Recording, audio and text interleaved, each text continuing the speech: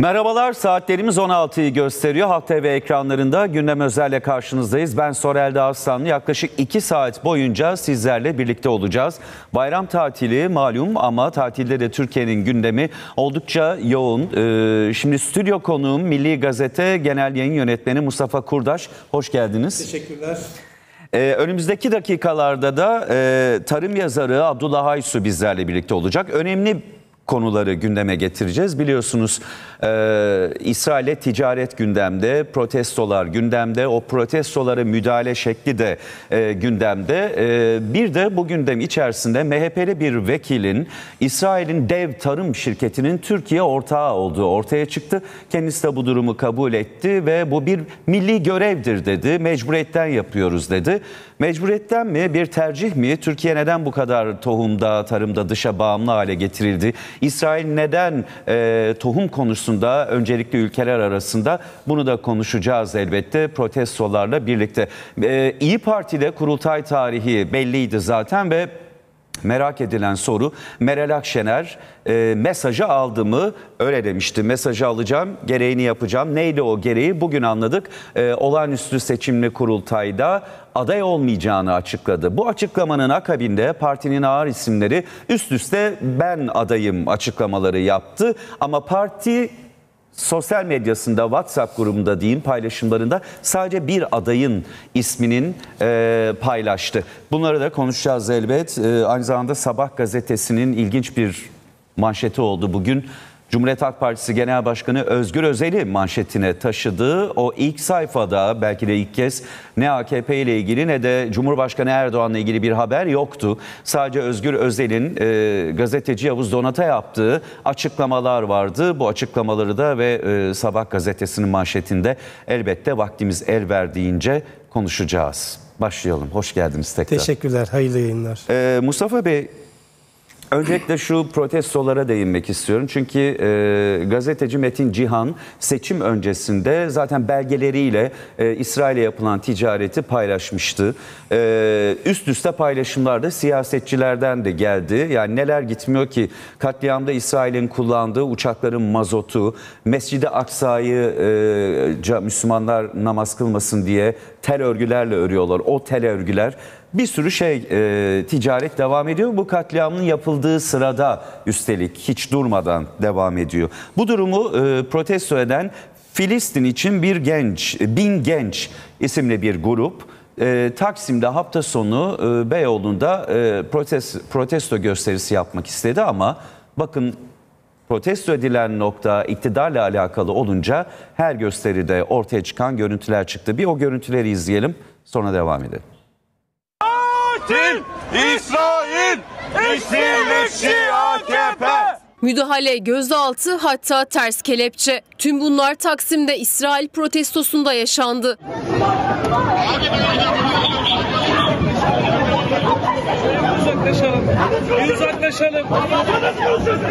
AKP iktidarının tüm eleştirilere rağmen Filistin katliamını sürdüren İsrail'le ticareti sonlandırmamasına tepkiler sürüyor. Filistin için Bin Genç platformu da bu nedenle Taksim'deydi. Türkiye'nin İsrail'le olan ticaretini sürdürmesine tepki gösterdiler.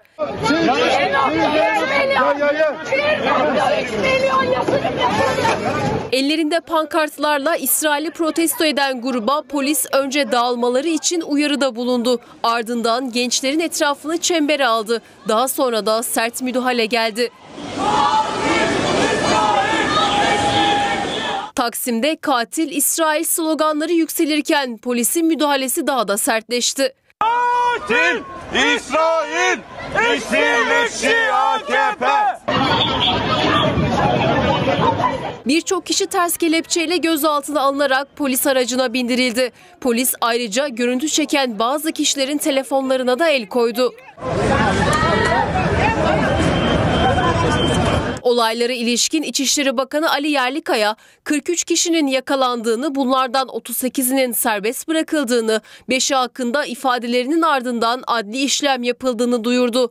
Bakan Yerlikaya ayrıca olayla ilgili iki emniyet görevlisinin de açığa alındığını bildirdi. Gözaltına alınan kadınlar arasında İsrail'in Mavi Marmara saldırısında yaşamını yitiren Cengiz Akyüz'ün kızları Erva ve Beyza Akyüz'ün de olduğu öğrenildi. Sadece İstanbul'da değil Konya'da da İsrail'le öfke sürüyor. Katliamlara rağmen ticari ilişkilerin devam etmesine tepki gösteren vatandaşlar yürüyüş yaptı. Ellerinde pankartlarla slogan attılar. Daha görünmüyor bunlar. Evet her gösteride yani iktidar karşıtı gösteride olduğu gibi burada da e, çok sert müdahale, tokat var, ters kelepçe var. E, bu kadar tepkiye rağmen e, ticaretin kesilmeme nedeni sadece para mı yoksa daha derin bir bağ mı var? Son kullandığım bağlam çok önemli. Daha derin bir bağ e, bağlamı çok daha önemli. Çünkü Adalet ve Kalkınma Partisi iktidarının serüveni aslında bölgede İsrail menfaatleriyle aykırı değil. Adalet ve Kalkınma Partisi iktidarı ki geride bıraktığımız 22 yılda göstermiştir ki bu iktidar döneminde İsrail ne istediyse coğrafyamızda 3 aşağı 5 yukarı İsrail'in ve Amerika'nın menfaatleri gittikçe kök saldı.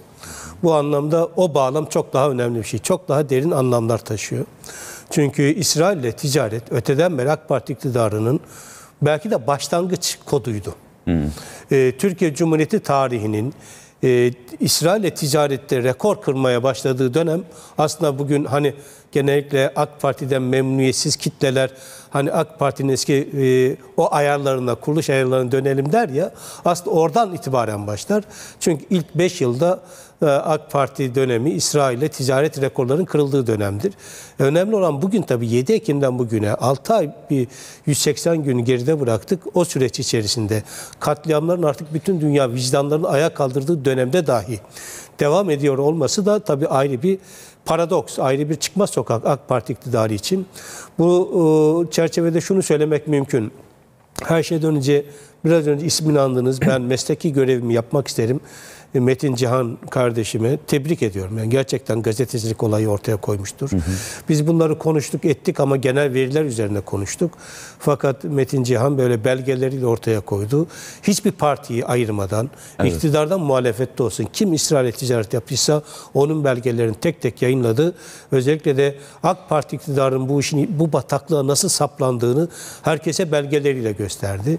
Şu an e, öyle soyut konularla değil de somut bir şekilde konuşabiliyorsak bu konuları ve Türkiye'de kamuoyu e, İsrail ile ticareti kesme noktasında AK Parti iktidarına bir baskı yapmaya başladıysa aslında bu Metin Cihan'ın ortaya koyduğu belgeler sayesindedir. Ben bir meslektaş olarak kendisine hem teşekkür ediyorum. Çünkü bize de yol açmıştır. Ee, Daha somut veriler ve belgeler sunmuştur. Ee, Hem de tebrik ediyorum. Gazetecilik bakımından söylüyorum. Bunun için söylüyorum çünkü biz e, Türkiye'nin geldiği nokta e, hatırlarsanız Saadet Partisi milletvekili Hasan Bitmez'in vefatı Evet. e, o konuşmasında daha 7 Ekim serüveni yeni başlamıştı ve katil İsrail e, işbirlikçi AKP belgesini koyarak konuşmuştu. Evet. Bugün 18 e, yani 180 gün sonra bu artık meydanlara gelen bir slogan haline gelmiştir. Önemsiyorum. Çünkü Adalet ve Kalkınma Partisi bugün İsrail işbirlikçisi pozisyonundadır. Bu hiçbir şekilde tartışılmaz. Hiçbir şekilde izahı mümkün olmayan bir konudur. İzahı mümkün olmayan bir konu olduğu için de hiçbir hükümet yetkisi konuşmamaktadır. Zaten e, yani o kalkan uçakların mazotunu vermek, e, dikenli teller güne barut yani bunların içinde olduğu bir ticaret, bir işbirliğini de e, göstermiyor mu? Kesinlikle yani bakınız yani normal şartlarda e, İsrail'e dur diye bir açıklama yapılıyor. Türkiye genellikle İsrail durmalıdır diyor. Ben şunu ifade edeyim. İsrail durmaz. Niçin dursun? İsrail zaten e, katletmek için kodlanmış. Zaten Gazze'yi yok etmek için kendisini e, adeta e, artık bütün kademeleriyle Gazze'de bir katliamı e, bütün insanlığın tepkilerine rağmen yapmaya karar vermiş. İsrail durduracak olan bir güçtür. Siz o gücü kullanmıyorsunuz. Hiçbir yaptırım ortaya koymuyorsunuz. Hiçbir güç ortaya koymuyorsunuz. Aynı zamanda lojistik destek veriyorsunuz. Bakınız bir Filistinli gazeteci dostumuzun bir röportajını izlemiştim. İsrail aslında ekonomik olarak büyük bir sıkıntı yaşıyor ama Türkiye'den giden yardımların, Türkiye'de gi- giden e, o lojistik desteğin, ticaretin kesilmeyen istikrarlı bir şekilde devam eden ticaretin İsrail ekonomisini ayakta tuttuğunu izah ediyordu. Şimdi ben bazı muhafazakar gazetelerin internet portallarında videolar izledim. Efendim neymiş? Bir salça varmış. Türkiye'den giden salça Filistinlerin marketinde satılıyormuş. İzaha kalkıyorlar. Ya kimse kimseyle alay etmesin. Doğrudan doğruya Türkiye Cumhuriyeti Devleti bu iktidar, bu hükümet eliyle İsrail'e tam bir destek vermektedir. Amerika Birleşik Devletleri ne kadar destek veriyorsa, Biden ne kadar destek veriyorsa Erdoğan hükümeti ve iktidarda en az o kadar destek veriyorlar İsrail'e. Peki. Şimdi Metin Cihan demişken gazeteci, e, bu arada kendisi e, önümüzdeki günlerde alacak bu İsrail haberlerinden dolayı Metin Göktepe özel jüri ödülüne layık görüldü. E, üstelik de bir adaylığı yoktu. Jüri üyesindeyim. Herkesin ortak kararıyla Metin Cihan'a verilmesi kararlaştırıldı. Çok Bunu da güzel belirteyim. yerinde bir karar, evet. Şimdi e, Metin Cihan yeni bir e, bilgi de paylaştı. Mesela İsrail'in en büyük tarım e, şirketi Hayfa grubunun Türkiye distribütörü Agrosel firmasının sahibi MHP milletvekili Hilmi Durgun olduğunu açıkladı. Şöyle dedi, bildiğiniz gibi yerli tohumu yok edip çiftçiyi İsrail ve diğer yabancı tohumlara mecbur bıraktılar. Peki İsrail'in dev tarım şirketi Hayfa'nın Türkiye ayağı Agrosel firmasının sahibi kim? Milletvekili Hilmi Durgun. Yanlışım varsa düzeltin dedi. Hilmi Durgun'u e, etiketleri. Hilmi Durgun sonra bir açıklama yaptı e, bir süre sonra. O da şöyle dedi. O onu da alabiliriz arkadaşlar paylaşımdan. Biraz uzun bir paylaşım. Onu da kısaca e, sizlere aktaracağım. Şöyle dedi. Bugün sosyal medyada başlayan daha sonra da maalesef malum haber sitelerinin araştırmaya tenezzül dahi etmeden mal bulmuş mağribi gibi haber yaparak başlattıkları karalama kampanyası ile ilgili açıklamam aşağıdaki gibidir diyor. Evet e, distribütörüm yani o firmayı e, Türkiye'deki temsilcisiyim diyor. Şöyle diyor. Türk tarımının gelişimi ve Türk çiftçisinin dünya kalite standartlarını yakalayabilmesi için ihtiyaç duyduğu her türlü teknoloji, gübre, ilaç, tarım makineleri ve benzerlerinin ihtiyaçlarının karşılanması milli bir görevdir diyor. Biz gübre ile ilgili yapıyoruz bu işi diyor ama Türkiye'de ne yazık ki bu olanaklar yok diyor. Var mı yok mu? Abdullah Aysu şu anda bizimle birlikte. Abdullah Bey öncelikle merhaba demek istiyorum. Merhaba Sayın Sorel. Merhaba. Şimdi size döneceğiz birazdan ama e, Hilmi Durgun'un MHP'li vekilin daha önceki bir paylaşım var. Hatırlıyor musunuz Milliyetçi Hareket Partisi Genel Başkanı gerekirse gideriz demişti Devlet Bahçeli. O konuşmasını referans alarak o dönem Hilmi Durgun da bir paylaşım yapmış. Bu değil e, daha önceki evet şöyle demişti. Ee, Ekim 24'te devletim istesin, milletim destek versin, şartlar da öyle gerektirsin. Şayet Gazze'deki çocuklara kol kanat germek, füzeye yanlış yazmış orada güzeye demiş ama füzeye karşı sapan taşıyla insanlık mevzisine girmek için yola revan olmazsam namerdim demiş. Yola revan olmadı anladığımız kadarıyla ama Yani ticarete şimdi bakıyorsunuz e, madem sabıkanız var böyle konuşmayın böyle yazmayın bari. Yani İsrail ile ticaret yapıyorsunuz.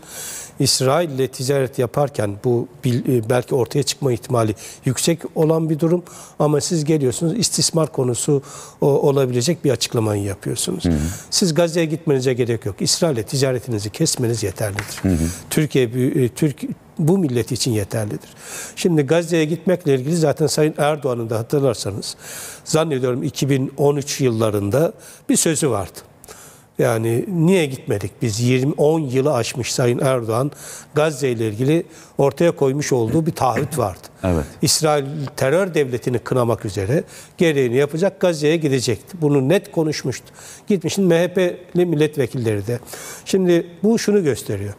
Bu hükümetin en başarılı yaptığı işlerden birisi hani istismar ya. Filistin konusunun ve Gazze konusunun nasıl istismar edildiğini gösteren bir paylaşımdır bu paylaşım o sözler. Bunlar bunların gereği yapılması gereken konular. Şimdi bu cümleleri kuruyorsunuz, kuruyorsunuz ama sonra bir belgeyle İsrail'le ticaret yaptığınız ortaya çıkıyor. Buna da karalama kampanyası diyorsunuz. Yani İsrail'le ticaret yaptığınızla ilgili haberler gerçekse buna nasıl karalama kampanyası diyebilirsiniz ki? Bu doğrudan doğruya bir habercilik olayı ve işin gerçeğidir. Bunu karalama kampanyası diyerek bir metin yazıyor olmanız bile bir başka aslında algı yönetimidir ve bir başka bence siyasi etik dışı bir yaklaşımdır. Siz bir ticaret yapıyorsunuz. Deyiniz ki ya hata yaptım deyin. Kesiyorum deyin ya da bir şey deyin. Bunu kamuoyuna izah etmeye de kalkışmayın. Bu konunun izahı yok. Çünkü orada 33 binden fazla insan katledilmiş. Efendim 10 binden fazlası çocukken siz çıkıp da Türkiye vicdanı ve dünya vicdanı kan ağlıyorken hakikaten e, büyük bir insanlık dramı orada yaşanıyorken siz bazı şeylerle bu konuları izah etmeye kalkışmanızı doğrusu anlamak mümkün değil. İşte 2024'ünde e, siz Sayın Bahçeli'nin bu konuşmasından sonra böyle bir tweet atıyorsunuz. İşte aradan 6 ay geçiyor. İsrail'e e, ticaret konusunda da haber oluyorsunuz. Evet. Bu, bu neyi gösteriyor? Bu Türkiye'de siyasetin tıkanmışlığını ve çürümüşlüğünü gösteren bir durumdur. İşte bunun sonucu Cumhur İttifakı son seçimlerde e, bunun bir e, şeyini almıştır, büyük bir darbesini almıştır. İnsanlar şu 180 gün içerisinde yaşanan gerek ekonomik bakımdan gerek de gerekse Filistin konusundaki istismarın iyice turnusol kağıdı gibi ortaya çıkmasından sonra insanlar artık güvenini tamamen hem Milliyetçi Hareket Partisi'ne hem de Adalet ve Kalkınma Partisi'ne kaybettiğinin bir e, e, tehcilidir diye düşünüyorum doğrusu. Şimdi çok önemli bir konuya değineceğiz. Ee, aslında beka deniyor ya hep. Gerçek beka meselesi budur. Yani gıda güvenliğinin elden gitmesi. Şimdi diyor ki Hilmi Durgun, e, gübrenin üretilebilmesi için gerekli olan ham madde maalesef ülkemizde bulunmamaktadır diyor. Sayın Aysu ben şöyle başlamak istiyorum. Ee, Türkiye tarımının bu kadar dışarıya bağımlı olması bir genel olarak soracağım önce. Ee, Bir tercih mi, bir mecburiyet mi? Bu bir tercih bir kere e, Sorel Bey. E, çünkü e, IMF ile ve Dünya Bankası ile geçmişte yapılan yapısal uyum programları, anlaşmaları doğrultusunda bu bir tercih. Bilinerek yapıldı. Adım adım bu e, şeye gel, ithalat noktasına geldik.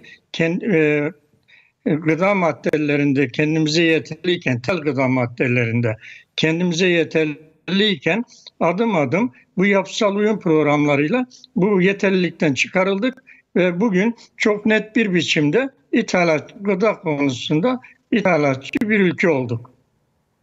Peki şimdi 2006 yılında sizin de yaptığın daha önceki röportajda çok çarpıcı bir ifade kullanmıştınız. Amerika'nın Irak'ta tankla, tüfekle yaptığını Türkiye 2006 yılında mecliste AKP'li vekillerin oylarıyla tepside sundu atalık tohumlarını diye. Şimdi 2006 yılında atalık tohumun ticarete konu edilmesi yasaklandı. Sonrasında hibrit tohum kullanılacak dendi ama o da doğadaki hibrit değil.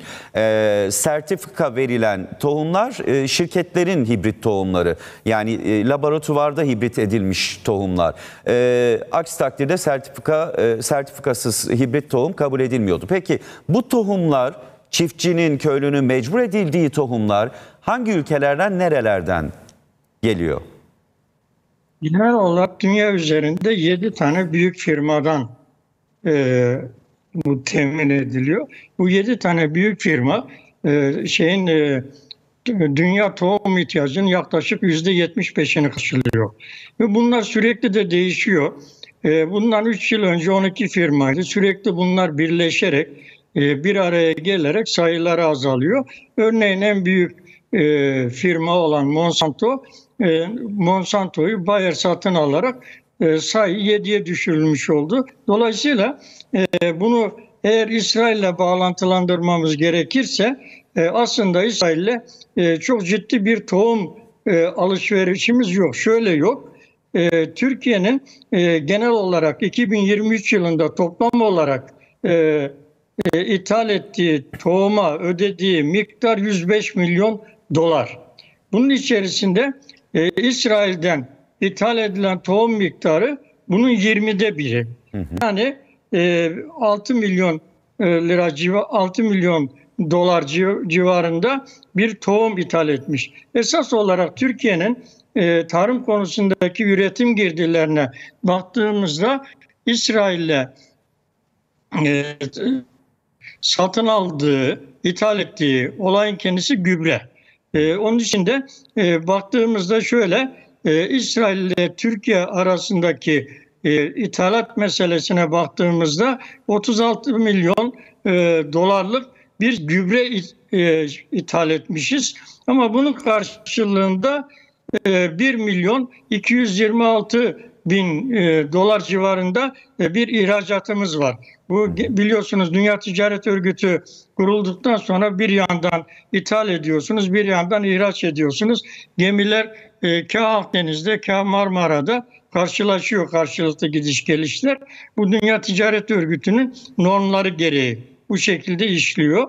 E, dolayısıyla e, esas olarak İsrail'le olan e, şeyin kendisi e, tohumla ilgili değil, gübreyle. Ama tohum yok değil, to- tohum da var ama bu çok e, şey değil. E, bütün olayın kendisini kapsayacak bir durumda değildir.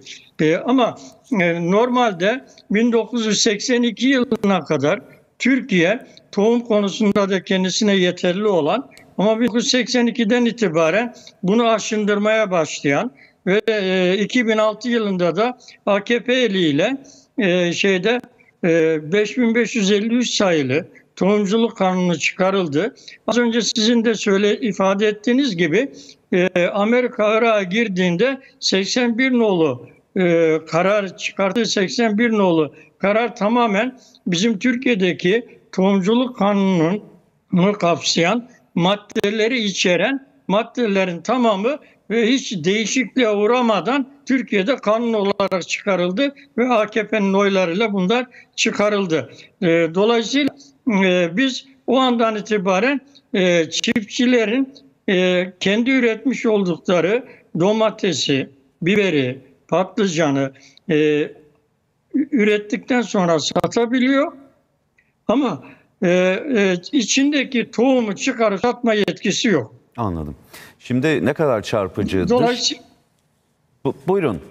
Do- dolays- do- Dolayısıyla e, burada siz doğrudan çiftçileri e, şehre bu şirketlerin kendisine e, bağımlı hale getiriyorsunuz ve her ondan tohum almak zorunda bırakıyorsunuz. Şimdi e, çok çarpıcı bunlar. Tabii ki hani bir dış güçler diye sürekli dile getirdiği iktidarın ve propagandasında e, Yerli ve milli söylediği- kavramlarıyla Evet sürekli yerli milli deyip. E peki yerli ve milliyi vurgulayıp e, dış güçleri e, seçim propagandası yapan bir anlayış nasıl oluyor da Türkiye'nin gıda güvenliğini, tarımını, çiftçisini, gıdasını, köylüsünü yabancıya mecbur bırakıyor? AK Parti iktidarının biliyorsunuz Sayın Erdoğan da başbakanlık dönemlerinde çokça ifade etmiştir. Bir pazarlama e, tekniğiyle devleti yönetmeye kalkarsanız siz ithalat ve ihracatta stratejileri ortadan kaldırırsınız. Türkiye'de e, birçok alanda yani e, stratejiler ortadan kalkmıştır. Mesela e, varlık fonu da bu anlamda tartışılması gereken bir konudur ve özelleştirmelerde de birçok bizim stratejik kurum ve kuruluşlarımız ki e, burada Türk Telekom'da bu işin e, en önemli noktalarından biridir. Hiç bu konulara bakılmadan gitti. Gıda konusu henüz daha dünyanın gündemine yeni gelmiş bir konu değil. Aslında nereden bakarsanız bakın 30-40 yıldır gıda ile ilgili dünyada e, bir şey var, bir endişe var, bir kaygı var ve e, tarımın ve gıda savaşlarının büyük bir güç haline geleceği hep ifade ediliyordu. Pandemi döneminde de gördük biz bunu. Yani öyle bir noktaya geldik ki biz yani bir ayçiçek meselesi ya da işte Ukrayna e, Rusya savaşı sırasında tahıl e, koridoru konusu en önemli uluslararası konu haline geldi. Niçin? Çünkü hakikaten gıda bugün e, kim o e, süreci elinde e, götürüyorsa, e, yönetiyorsa ve hangi ülke kendi kendine yeter durumda geldiyse aslında bağımsızlıkla da doğrudan doğruya beka dediğiniz için söylüyorum. ilgili bir konu. Peki bu bilinmeyen bir konu değildi ki. Peki biz niçin bu konuda hiç sanki kulağımızın üzerine yattık, hiç bilmiyormuşuz, görmüyormuşuz gibi geldi. Hani Sayın Binali Yıldırım açıklamıştı hani önceki seçim öncesinde ve pandemi dönemlerinde vesairede karış karış her yere ekecektik. Biz neyi nasıl ekeceğiz? Daha bir tarım anlamında güçlü bir politika oluşturamıyorsak ve tarımı gübresiyle, tohumuyla, mazotuyla ve başka başka bir şu yan kolların tamamıyla endüstriyesiyle birlikte e, e, ülke dışındaki bir takım e, erklere teslim etmiş ve terk etmişsek biz bugün hangi tarım gücünden bahsedebiliriz? Yani e, e, bu anlamda tohum konusu da gübre konusunda e, ve ta- tarım politikalarının tamamında da bir Türkiye çöküş yaşamaktadır. Bugün hayat pahalılığından bahsediyoruz. Hiç değilse bizim yani e, sebze meyve reyonlarımızda biraz ucuzluk olması gerekmez mi? Ama siz eğer gübreyi e, bir şekilde ithal ediyorsanız ve tarım e, bakımından birçok ilaçları da aynı zamanda ithal etme durumundaysanız o zaman zaten mümkün değil. Domatesi kendiniz yetiştirseniz de aslında o domates sizin mi değil mi? Aynen. Bu büyük anlamda tartışma konusudur. Bugün e, Türkiye'nin kendi e, topraklarında yetişen tarım ürünleri de yerli ve milli değil. Biz yetiştiriyor olsak da, çiftçi bizim olsa da, eken biçen bizim olsa da aslında e, pazarımıza gelen, efendim manavımıza gelen yetiştirdiğimiz ya da e, birçok mamul yurt dışından Tabii. bir şekilde. Bir de şu var e, Abdullah Bey bu Sadece mozot değil yani. Yani bizim Elbette. bütün şey, her anlamda yurt dışına bağımlı hale geldik. Ee, Şimdi bu hibrit tohumlar e, yurt dışından bize atalık tohum ticarete yasak ya siz e, sertifika verdiğimiz hibrit tohumdan üreteceksiniz. Bunu üreteceksiniz diye çiftçiye köylüye söylüyorlar. Ama bildiğim kadarıyla bu e, tohumlarda besin değeri düşük ürünler e, ortaya çıkıyor. Raf ömrü uzun olsun diye e, bazen de e, katkı yapılıyor bu ürünlere. Bayer'le ortak oldu dediğiniz Monsanto en büyük e, Kanadalı sanırım en büyük e, tohum firması. Şimdi bu tohumlar nedeniyle ortaya çıkan hastalıklar Bayer'in beşeri ilaçlarıyla mı tedavi ediliyor? Yani ben bir taraftan sizi hasta ediyorum bir taraftan da ilacınızı veriyorum. Böyle bir iki el arasında gidip geliyor mu insanlık? Şimdi şöyle bir döngüden söz edebiliriz. Ee, bir kere e, siz hibrit tohumu toprağa attığınızda e, hibrit tohum suya duyarlıdır. Bol su vermeniz gerektir, gerekir. Bol su verdiğinizde verim elde edebilirsiniz. Eğer bol su vermezseniz verim elde etmeniz pek mümkün olmaz. Ama aynı zamanda e, bol miktarda gübre vermeniz lazım.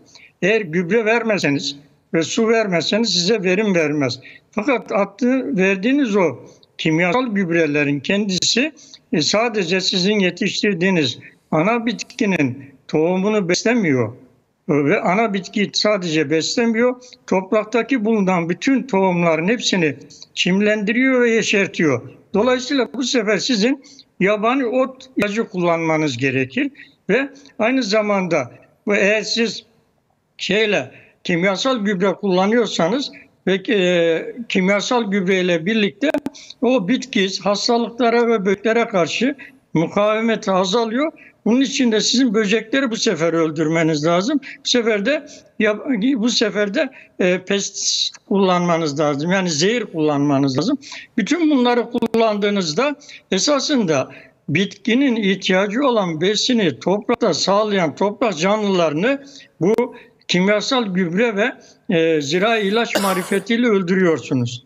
Ve buradan dolayı da düzenli bir biçimde e, çiftçiyi e, aldığı gübreye ve kullandığı ilaca mahkum ediyorsunuz. Şimdi böyle olunca böyle bir durumda eğer siz doğal olarak bunu üretmiyorsanız bu sefer sizin e, şey at, zaten toprağa attığınız fosfor, azot ve potastır. Diğer şey elementler yani mikro elementler orada yoktur ve makro elementlerinde önemli bir bölümü bulunmadığı için bu besinin içerisine ürünün içine intikal etmiyor ve sonuç itibariyle e, ürün besin değeri bakımından çok zayıf kalıyor. Hmm. O zayıf kalmasının e, adı bütün dünyada gizli açlık diye ifade edilen bugün işte dünya genelinde bir buçuk milyar insanın gizli açlık çektiği e, FAO tarafından belirlenmiş durumda ve bu gizli açlıktan kaynaklı olarak da insanlar bu sefer e, sağlıklı olamıyor, e, e, dirençleri olmuyor ve dirençleri olunca da bu sefer tohumu, ilacı, yani tarım tohumunu ve şeyi e, tarım ilacını e, üreten bu firmalar aynı zamanda beşeri ilacı da üretiyor. Siz hastalandıkça bu sefer e, size e, bu beşeri ilaçla da tedavi etmeye kalkıyor. Böyle bir döngünün içerisine almış insanları ve bütün toplumun tamamını bu şekilde sürekli bir biçimde sömürüyor. Şimdi ne kadar ilginç değil mi Mustafa Bey? Yani Döngü var. bu sadece dışa bağımlılık. e, mesela bugün gıda fiyatları niye bu kadar yükseliyor dünyada azalırken dediğimizde işte bu politikaların sonucunda yani bu bir mecburiyet değil bir tercihti. Ama daha da çarpıcı olanı e, sağlığı bozarak e, aynı şirketlere bir kez daha mecbur bırakmak. Şimdi şey, şey çok enteresan. Mesela Sayın Erdoğan'ın yürüttüğü bir kampanya vardı. Sigarayı bit- bırakmakla ilgili. Sonuna kadar arkasındayız. Bütün Tabii, sigara sağlığa zararlıdır. Sigara sağlığa zararlı. Fakat sağlığa zararlı başka şeyler daha var. Ben mesela merak ediyorum. Sağlık Bakanlığı ve Tarım Bakanlığı ve bazı şeyler. Bu raflardaki e, yoğurttan tutunuz da daha birçok gıdaya kadar. Bu raf ömrünü uzatmak üzerine e, katkı maddelerini e, ne kadar oranda müsaade ediliyor. Yani ta ek- ekmekten rafa gelinceye kadar hemen her mamulde büyük problemler yaşıyoruz. Ve bir şekilde dikkat ederseniz özel hastaneler yapıyoruz. Türkiye AK Parti iktidarı bir dönemde sağlık konusunda hani bugünlerde savunma sanayi konuşulur ya bir dönemde de sağlık ve hastaneler konuşulurdu Türkiye'de. Ama bakıyorsunuz yani 5 yıldızlı hastanelerin yapılması ya da bu kadar çok hastanenin yapılması artık doktorların yetersiz hale gelmesi bütünüyle bir bütünün aslında bir parçası bu. Sonucu. Bütün içerisinde insan insan özne değil, insanın sağlığı özne değil. Önemli olan konu insanı hasta yapmamak üzere, sağlıklı yaşatmak üzere bir sistematiğin var olmasıdır. Bunda üniversitenin de bu işin dışında bırakıldığını düşünüyorum. Yani bilimsel hiçbir tartışma yoktur. Tarım, Sağlık Bakanlığı koordinasyon çalışmaları yoktur. Sadece ve sadece piyasa şartları neyi gerektiriyorsa ona dair ruhsatlardan başka bir işe yaramıyor şu an. Hayır ya biz insanı esas almalıyız. İnsanı yaşatacak, insanı sağlıklı yaşatacak, bedenen de ruhen de sağlıklı yaşatacak ve hastaneye götürmeyecek süreçleri önce inşa etmemiz lazım. Aynı şekilde insanları hakim karşısına çıkartmadan önce tedbirler nasıl adalet sisteminde alınması gerekiyorsa aslında sağlık sektörü tarımdan başlar. Tarım ilacından başlar. Biz gidiyoruz doktorlar, şehir hastanelerini konuşuyoruz. Ama ondan önce tarımla ilgili işte biraz önce anlatıldığı üzere o onu yani biz ne yapabiliriz de insanımıza e, sağlıklı bir işte bir raf sunabiliriz, takdim ederiz. Bunun hangi çalışma, hangi birim var Türkiye'de merak ediyorum. Var mı böyle bir çalışma? Yok. Böyle bir çalışma yok. Yani ruhsatlar sadece piyasanın istediği e, ve dünyada bahsedilen bu döngü çerçevesinde ortaya konan e, gereklilikler çerçevesinde o konuyor. Ama biz hayır, biz Anadolu hem tohum konusunda hem de e, canlılar ırk konusunda dünyanın en zengin bölgesi. Evet. Yani hatırlar mısınız kuş gribi olduğu dönemde ne kadar çok böyle bizim kanatlımız telef edilmişti. Bir Anadolu ırkı yok edilmişti gözümüzün önünde yapılan şeylerdi. Bu tohum konusunda da böyle ama bu geliyor insanın mutluluğuna kadar geliyor. Bugün eğer kanser olayları büyük anlamda Türkiye'de arttıysa bu bir beka sorunudur. Bugün her ailede eskiden kanser vakası olduğu zaman yani etraf bilirdi yani bir tane vaka var ya denirdi. O, e, herkes onu konuşurdu. Şimdi öyle değil ki. Her ailede bir vaka var neredeyse kanser vakası. Bu kendiliğinden oluşmuyor. Yediğimizle içtiğimizle oluşuyor.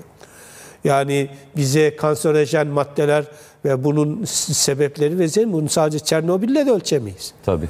Yani bir sürü bu tarlada başlayan bir problem var yani.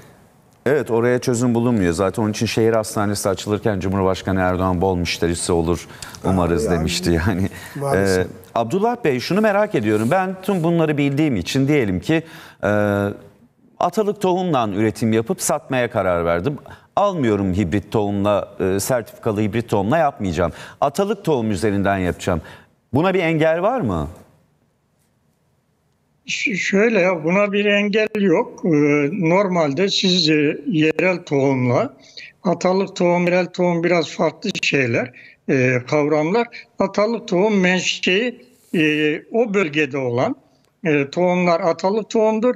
Yerel tohumlar ise başka yerlerden gelmiş oraya adapte olan olmuş olan tohumlardır. Sonuç itibariyle yerel tohum oraya adapte olmuşsa oranın iklimine, toprağına uyum sağlamıştır ve oranın böceğine karşı da şeydir, daha mukavemettir.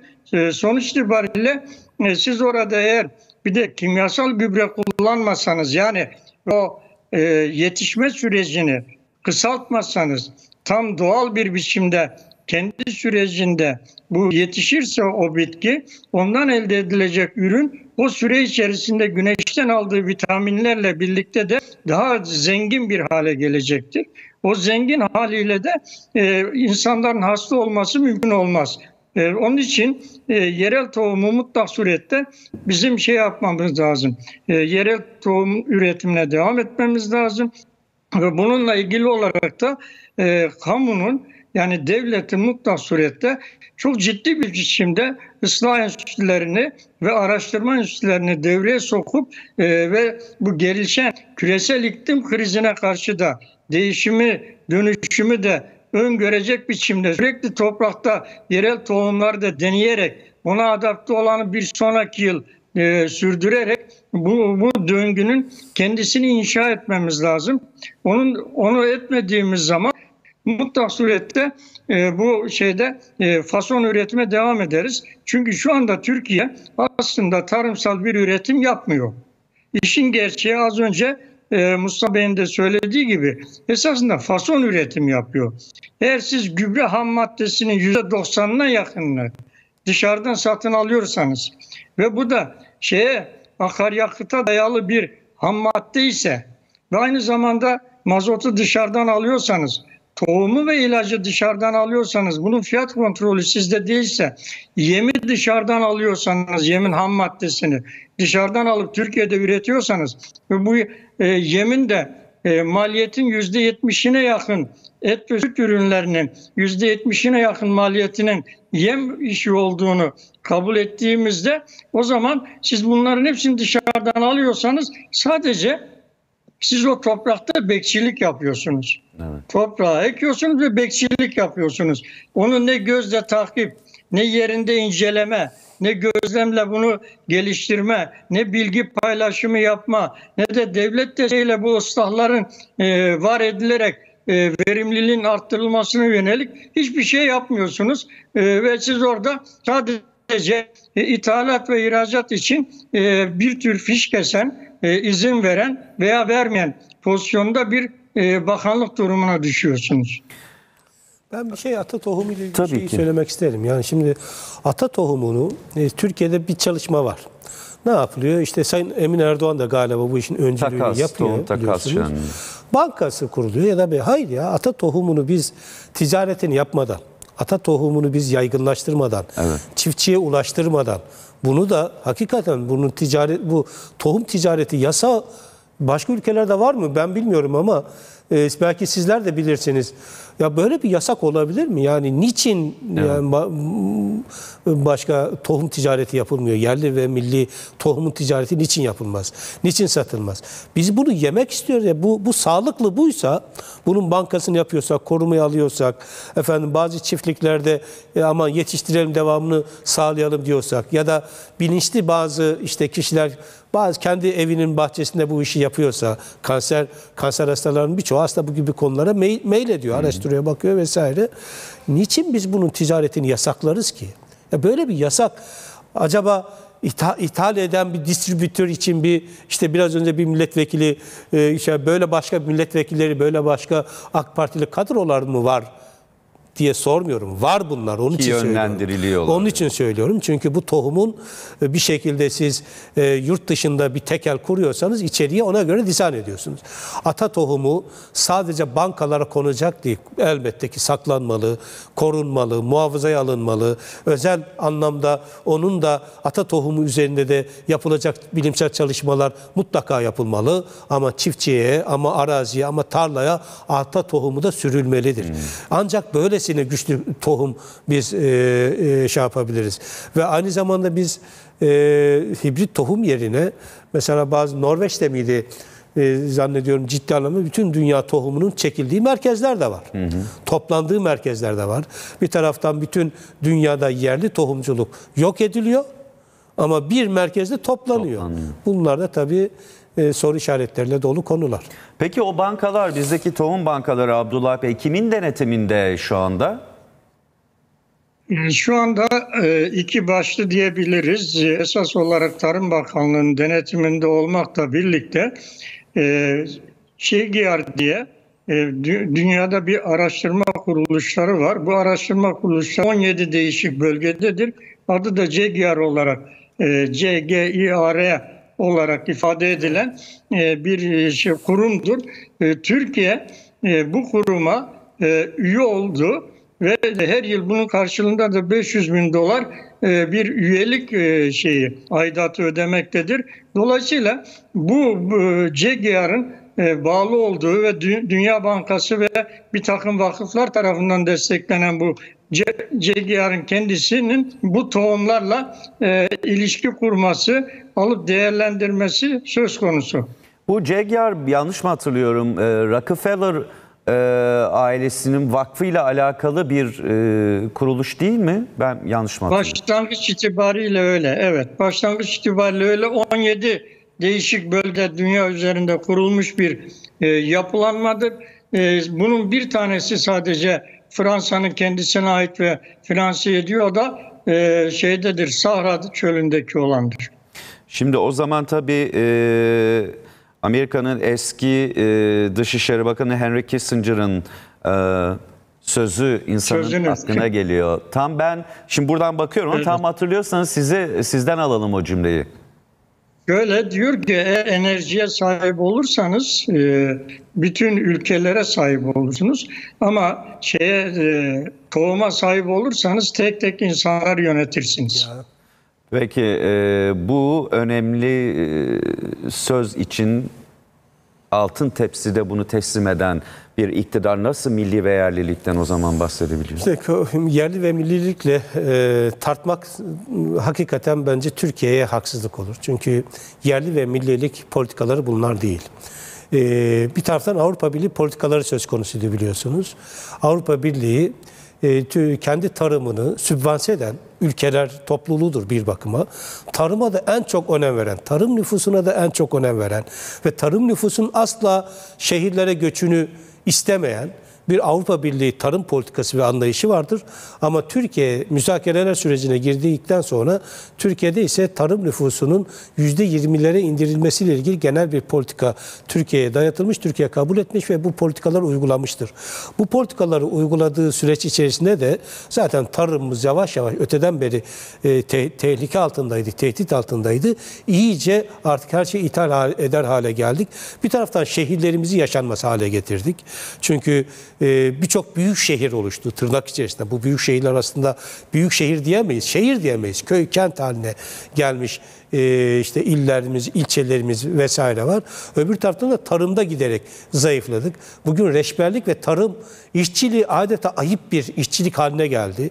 Gençler hiçbir şekilde hayvancılıkla uğraşmıyor, tarımla uğraşmıyor. Herkes köyünü, memleketini terk etti. İşte e, üç harfli marketlerde efendim e, kasiyer olma derdine düştü. Yani e, başka işler yapıyor. Oysa kendi işini, kendi tarlasında, kendi arazinde, kendi köyünde, kendi memleketinde e, çok stratejik ve güçlü bir iş yapacağına başka bir noktaya geldi. Bu bakımdan Adalet ve Kalkınma Partisi iktidarının öteden beri yürütmüş olduğu politikaların hiçbirisi aslında yerli ve milli olmayandır. Aslında bilirsiniz işin belki psikolojik altyapısı bakımından da eğer bir insan neyi yapmıyorsa daha çok onu kullanır. çok o, o cümleyi kur- kurar. Adalet ve Kalkınma Partisi iktidarı da hep yerli ve milli kelimesini kullanmıştır. Çünkü yerli ve millilikten uzak hep politikaları e, gerçekleştirmiştir. Her sahada. Yani herhangi bir sahayı söylemiyorum. Her sahada bu böyledir.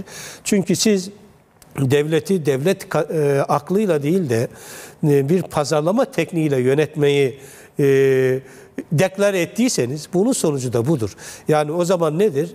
E, siz pazarlama tekniğine bütün alanları açarsanız üniversitede de bilim yapamazsınız. Sağlıkta da sağlık üretemezsiniz. Hastanede de tedavi yapamazsınız. Tarlada da sağlıklı bir mamul üretemezsiniz. Ne yaparsınız? Dışarıdan gelen ucuz her şeyi alırsınız.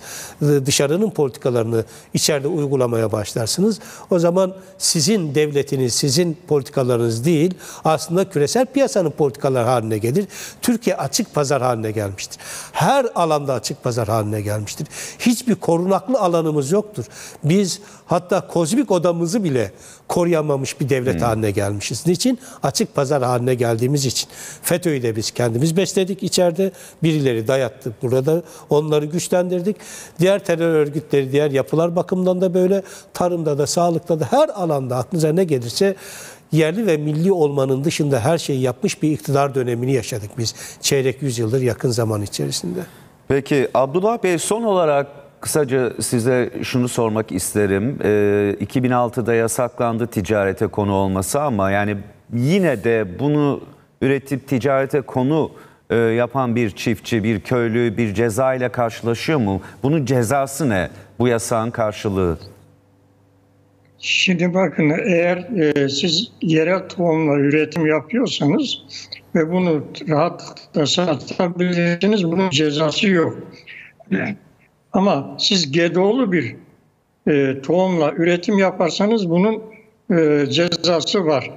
Fakat e, siz bunu kalkıp da yerel tohumu satmaya kalkarsanız ilk etapta 10 bin lira cezası var. 10 bin lira ödemek durumundasınız. Dolayısıyla bunu ticarete konu edemezsiniz. Ama birbirinizle bedelsiz bir biçimde paylaşabilirsiniz. Ve bunu üretimde kullanabilirsiniz. E, fakat bu satamazsınız. Ee, ama dolayısıyla- Saadet Partisi çok üzülüyorum. Saadet Partisi İstanbul İl Başkanlığı hatırlıyor musunuz? Geçen sene ve önceki sene ata tohumu kampanyası yaptı. Hediye küçük paketler olarak götürdü. Ata tohumu onu da internet üzerinden ulaşım sağladı. E, Zannediyorum 1 milyonun üzerinde ana, sadece İstanbul'a değil Anadolu'nun her yerinden başvuru oldu.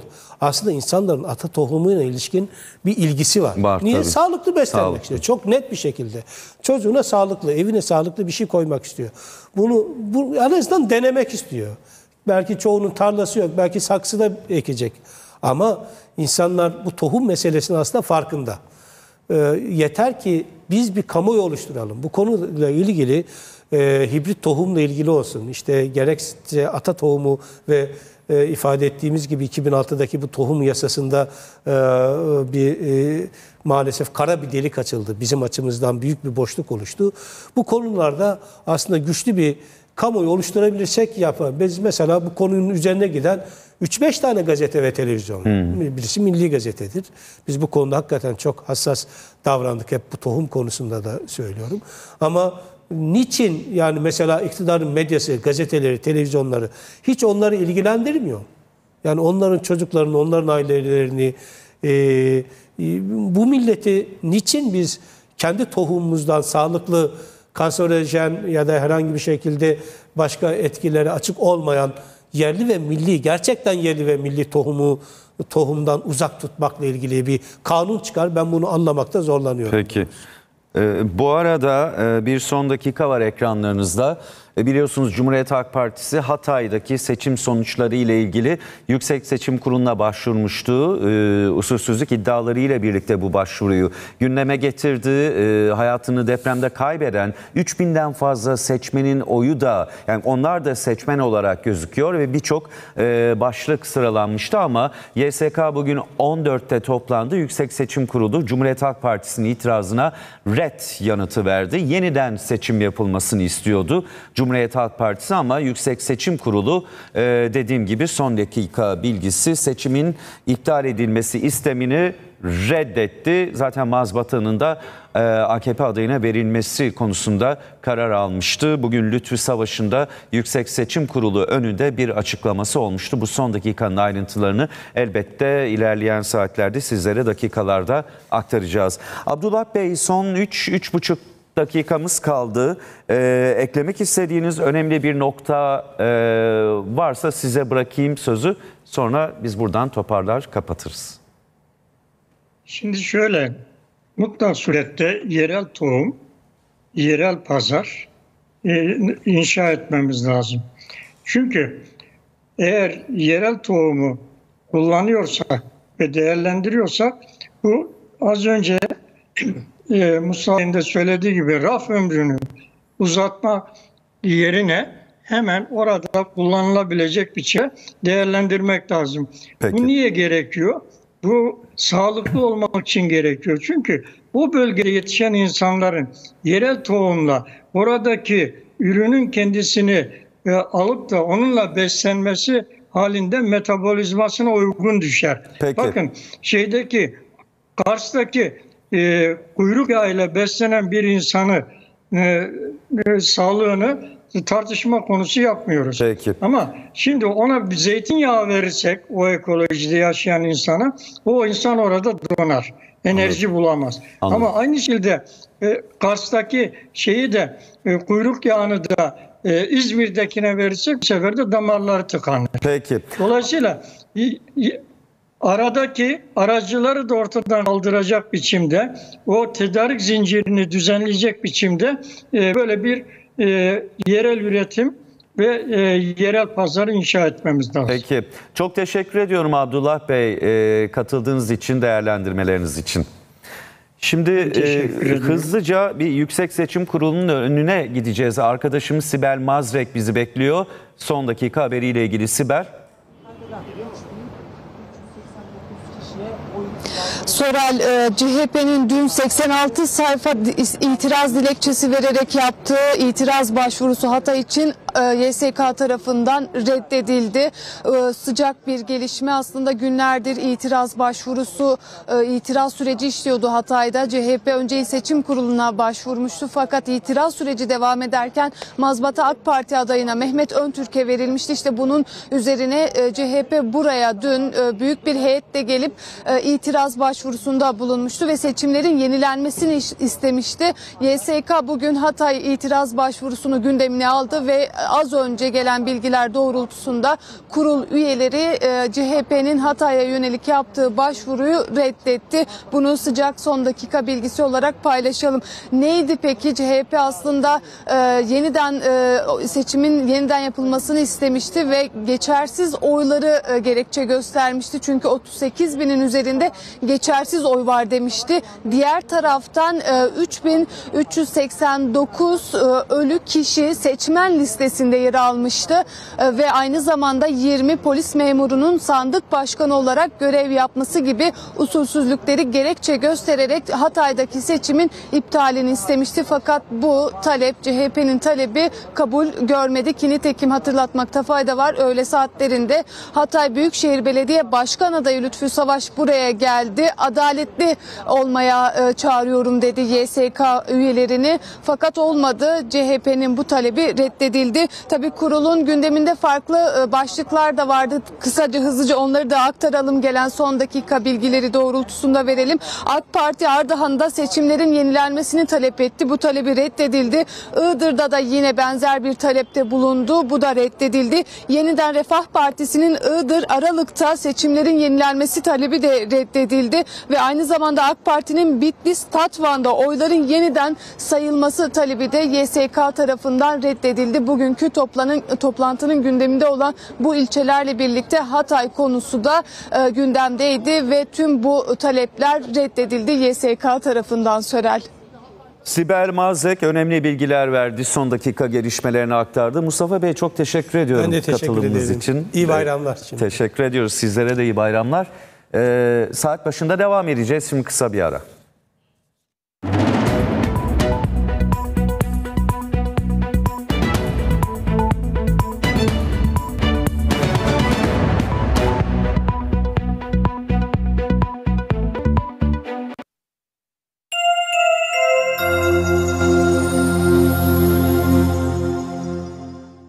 Cenk Bey, ben global bir şirketten bir iş teklifi aldım. 150'den fazla ülkedeler. Tam 45 tane fabrikaları var. 31 ARGE merkezi. Son teknoloji ürünler. E, İngiltere'den Çin'e, Almanya'dan Amerika'ya resmen her yerdeler. Yani yurt dışına yabancı bir şirkete gidiyorsun ha? Yo. Bizim Beko'ya gidiyorum. Beko bugün bu ülkeden aldığı güçle Avrupa'nın birinci, dünyanın ikinci büyük beyaz eşya şirketi. Arçelik'le Türkiye liderliğimiz devam ederken Beko ile hedef dünya liderliği. Bu başarıyla dünyalar bizim, bu gurur hepimizin.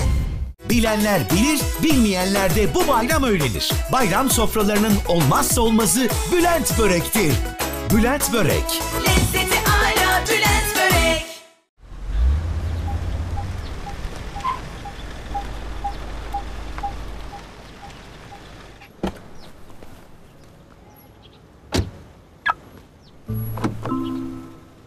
Yol geniş olsa bile riske atmayıp arabanızı kaldırıma sıfır park etmek istiyorsanız bizim gibisiniz. Sizi de Stablex'e bekleriz. Bitcoin ve kripto para yatırımlarınız için Ak Yatırım İştiraki Stablex. Doğru zamanda doğru adres. Stablex. İnternetin uzmanları öneriyor. D-Smart Net'e gelenler interneti ve D-Smart Go film dizi paketini sadece 199 liraya kullanıyor.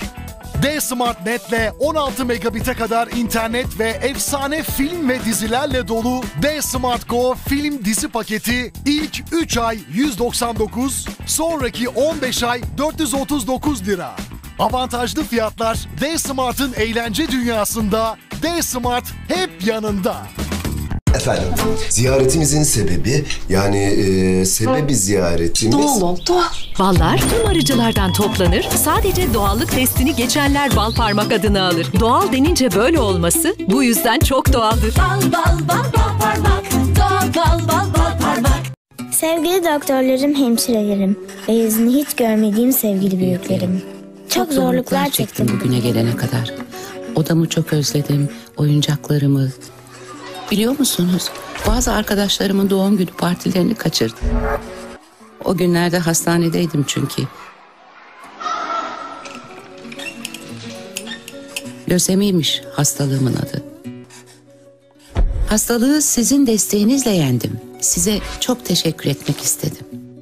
Şey, bir de hala hastanede sizin desteklerinizi bekleyen arkadaşlarımı da unutmazsınız değil mi? Diyecektim. İmza Sevinç Aksu. Lösev hayat verir. Bilenler bilir, bilmeyenler de bu bayram öyledir. Bayram sofralarının olmazsa olmazı Bülent Börek'tir. Bülent Börek. Lezzeti ala Bülent Börek. Arabayı yıkattıktan sonra yağmur yağmayacağının garantisi yok. Ama Aygaz 100 Oktan'da en az 100 Oktan otogaz ve tasarruf garantisi var. Sen de Aygaz mobil uygulamasından kampanyaya katıl. Her 400 TL ve üstü otogaz alımında 50 TL, toplamda 100 TL otogaz puan kazan. Üstelik kampanyaya katılan herkese barbekü, ısıtıcı ve kamp ürünleri %25 indirimli.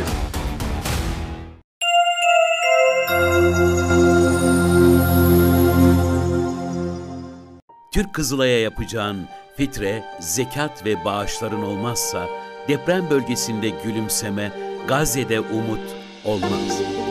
Az çok demeden yapacağın bağışlarla bu Ramazan sensiz olmaz. Sen ne dersin hoş geldiniz. Yeni bir haftaya başlarken e,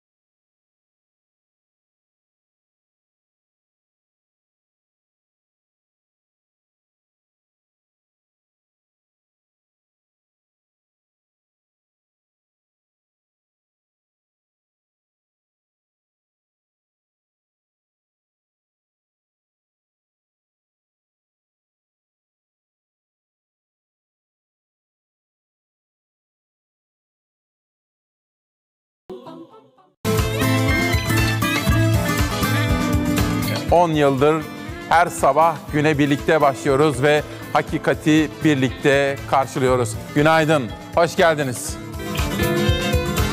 Bizim kültür elçimiz Fazıl Say bizimle birlikte. İşe yaradı benim müziğim mesela. Aynı zamanda onu da ifade etmek gerekim. Hiç kimsenin bu konuda hiçbir şüphesi olmasın ki Mustafa Kemal Atatürk Türk milletinin yüreğinde, kalbinde sonsuza kadar yaşayacak. Yani Z kuşağı diyorlar ya. Evet. onlar okuyor. Siyaset var ya araç. Araç. Ülkemize, ülkemizin demokratik hayatına sizin yeni genel başkanlığınız hayırlı uğurlu olsun diye. Çok teşekkür ediyorum. Biz de her zaman bekliyoruz. Sağ olun. Şeref verdiniz. Eksik olmayın. Sağ olun. Halk TV'den sizlere iyi bir gün diliyorum.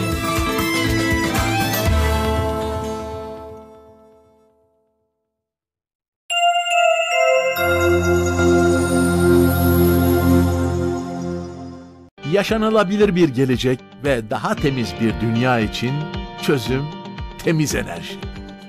CV Enerji.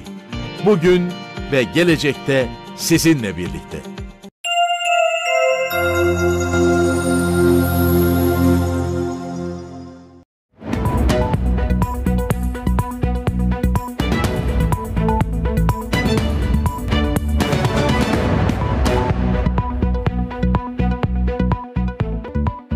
Saatlerimiz 17'yi gösteriyor. Gündem özele devam ediyoruz. Bu bölümde stüdyo konuğum siyaset bilimci Yücel Demirer. Hoş geldiniz. Teşekkür ederim, hoş bulduk. Ve bir de Skype bağlantımız olacak. Yeni Çağ Gazetesi Ankara temsilcisi Orhan Uğuroğlu da bizlerle birlikte. Orhan Bey merhabalar. Merhabalar Soner Bey, iyi yayınlar. Teşekkür ediyorum. İzin verirseniz önce son dakikayla başlamak istiyorum. Bir önceki bölümün sonunda e, verdik izleyicilerimize. Cumhuriyet Halk Partisi e, Hatay'daki seçimin iptali ve yenilenmesi için Yüksek Seçim Kurulu'na başvurmuştu. Bu e, itiraz reddedildi. Yücel Bey, e, oysa ki çok ciddi iddialar vardı. Yani işte polislerin sandık başında görev alması ya da e, 3000'den fazla depremde hayatını kaybeden e, insanın isimlerinin seçim listesinde yer alıyor olması. Bu iddialar hiç araştırılmadan e, reddedilmesi ne anlama geliyor? Bir ikincisi e, özellikle bu seçmen listesindeki hayatını kaybeden vatandaşların isimlerinin yer alması genel seçime yönelik de bir şüphe uyandırmaz mı? Ee, Sorel Bey öncelikle ne yazık ki şaşırmadığımı belirtmek isterim. Ee, çünkü alelacele mazbatanın verilmesi bazı şeylerin işaretiydi. Uzunca bir süredir Türkiye'de hukukun temel ilkelerinin işletildiğinden değil de fiili duruma göre yapılan müzakereci bir yaklaşımdan söz edebiliyoruz. Onun için şaşırmadım. Söylediğiniz çok yerinde bu karar pek çok açıdan sakıncaları mevcut. Bir de bildiğiniz gibi e, polis memurlarının sandık görevlisi hatta sandık başkanı yapıldığı şeklinde iddialar da var. Keşke bunların liste liste şeffaf bir biçimde dökülebildiği, iddialara somut yanıtların verilebildiği çok detaylı raporlar görebilsek genellikle böyle olmuyor. Hukuk dili içerisine e, yansıtılmış çok genel raporlarla bu iş gideriliyor. Ve dediğiniz gibi genel seçimlere ilişkinde çok önemli e, gölgeler bırakır. Çok sakıncalı bir karar. E, bir de Yüksek Seçim Kurulu'nun genel tavrında bir dengecilik var. Bildiği bütün sandık başındaki süreci olduğu gibi bırakma şeklinde bir yaklaşım. Hukukun e, temel mantığına çok aykırı bir durum. Yani bir, bir tür dengecilik arayışı. E, o- onu da ayrı bir sakıncası mevcut.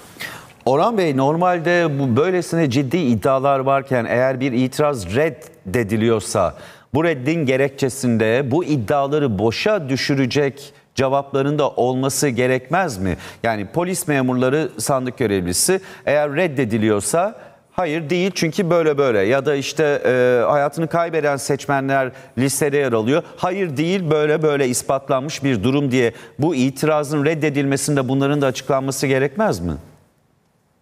Elbette ama o söylediğin Yüksek Seçim Kurulu için gerekli.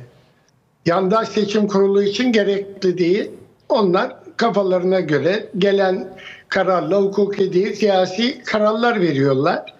E, bu kadar büyük bir hezimete uğramış Adalet ve Kalkınma Partisi için Hatay e, ölülere oy kullandırılan, ölülerin oylarıyla kazandırılan bir belediye başkanlığı ki bence AKP'nin bu şaibenin altında kalmaması ve onların da seçimin yenilenmesini istemesi lazım. Madem güçlüler yeniyorlar, seçim yenilir, kazanan kazanır. Ama ölülere oy kullandırmak, polisleri sandık e, görevlisi yapmak, memurlar atanıyor oraya. Ve hele hele biliyorsunuz bir sene önce yani Cumhurbaşkanlığı seçiminden bir sene önce en kıdemli hakim e, ilçe ve il seçim kurulu başkanı oluyordu. 16 e, Nisan e, referandumunda da e, 3 milyon 600 bin geçersiz oyu geçerli kılıp 1 milyon 350 bin oy farkla Türkiye'de rej- rejim değiştiren kuruldur bu YSK, Yandaş Seçim Kurulu. İstanbul Büyükşehir Belediye Başkanlığı'nı 14 bin oy farkla anısının ak sütü gibi helal eden, helal e, kazanan Ekrem İmamoğlu'nu e, seçimi iptal ederek ikinci seçimde e, yarışmasını zorunlu tutan da bu Yüksek Seçim Kurulu'dur. Dolayısıyla hani her şey beklenir YSK'dan.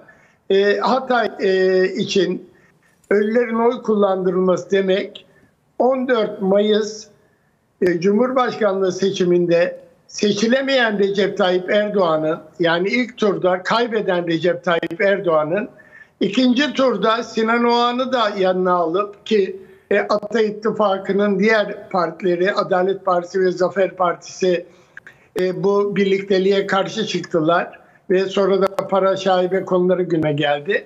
Keza Hatay'da da aynı şaibeler gündemde adaylıktan çekilmemesi için e, 10-15 bin oy aldı e, Gökhan Zan. Yani e, zan altında kaldılar. Hem AKP kaldı hem il ve ilçe seçim kurulu hem de yüksek seçim kurulu. E, Türkiye Cumhuriyeti tarihinde ölülerin oy kullanıp seçim sonucu değiştirdiği bir ayva, bir kara lekeye imza atanların o görevde bir dakika bile oturmamaları lazım. Ee, keşke Türkiye'de demokrasi işlese de Yüksek Seçim Kurulu kararları veya bu kararları veren e, yargıçlardan da hesap sor- soracak bir mekanizma olsa. Peki. Şimdi bu arada CHP Genel Merkezi'nde YSK'nın bu konusu görüşülüyor. Bir toplantı yapılıyor anladığım kadarıyla.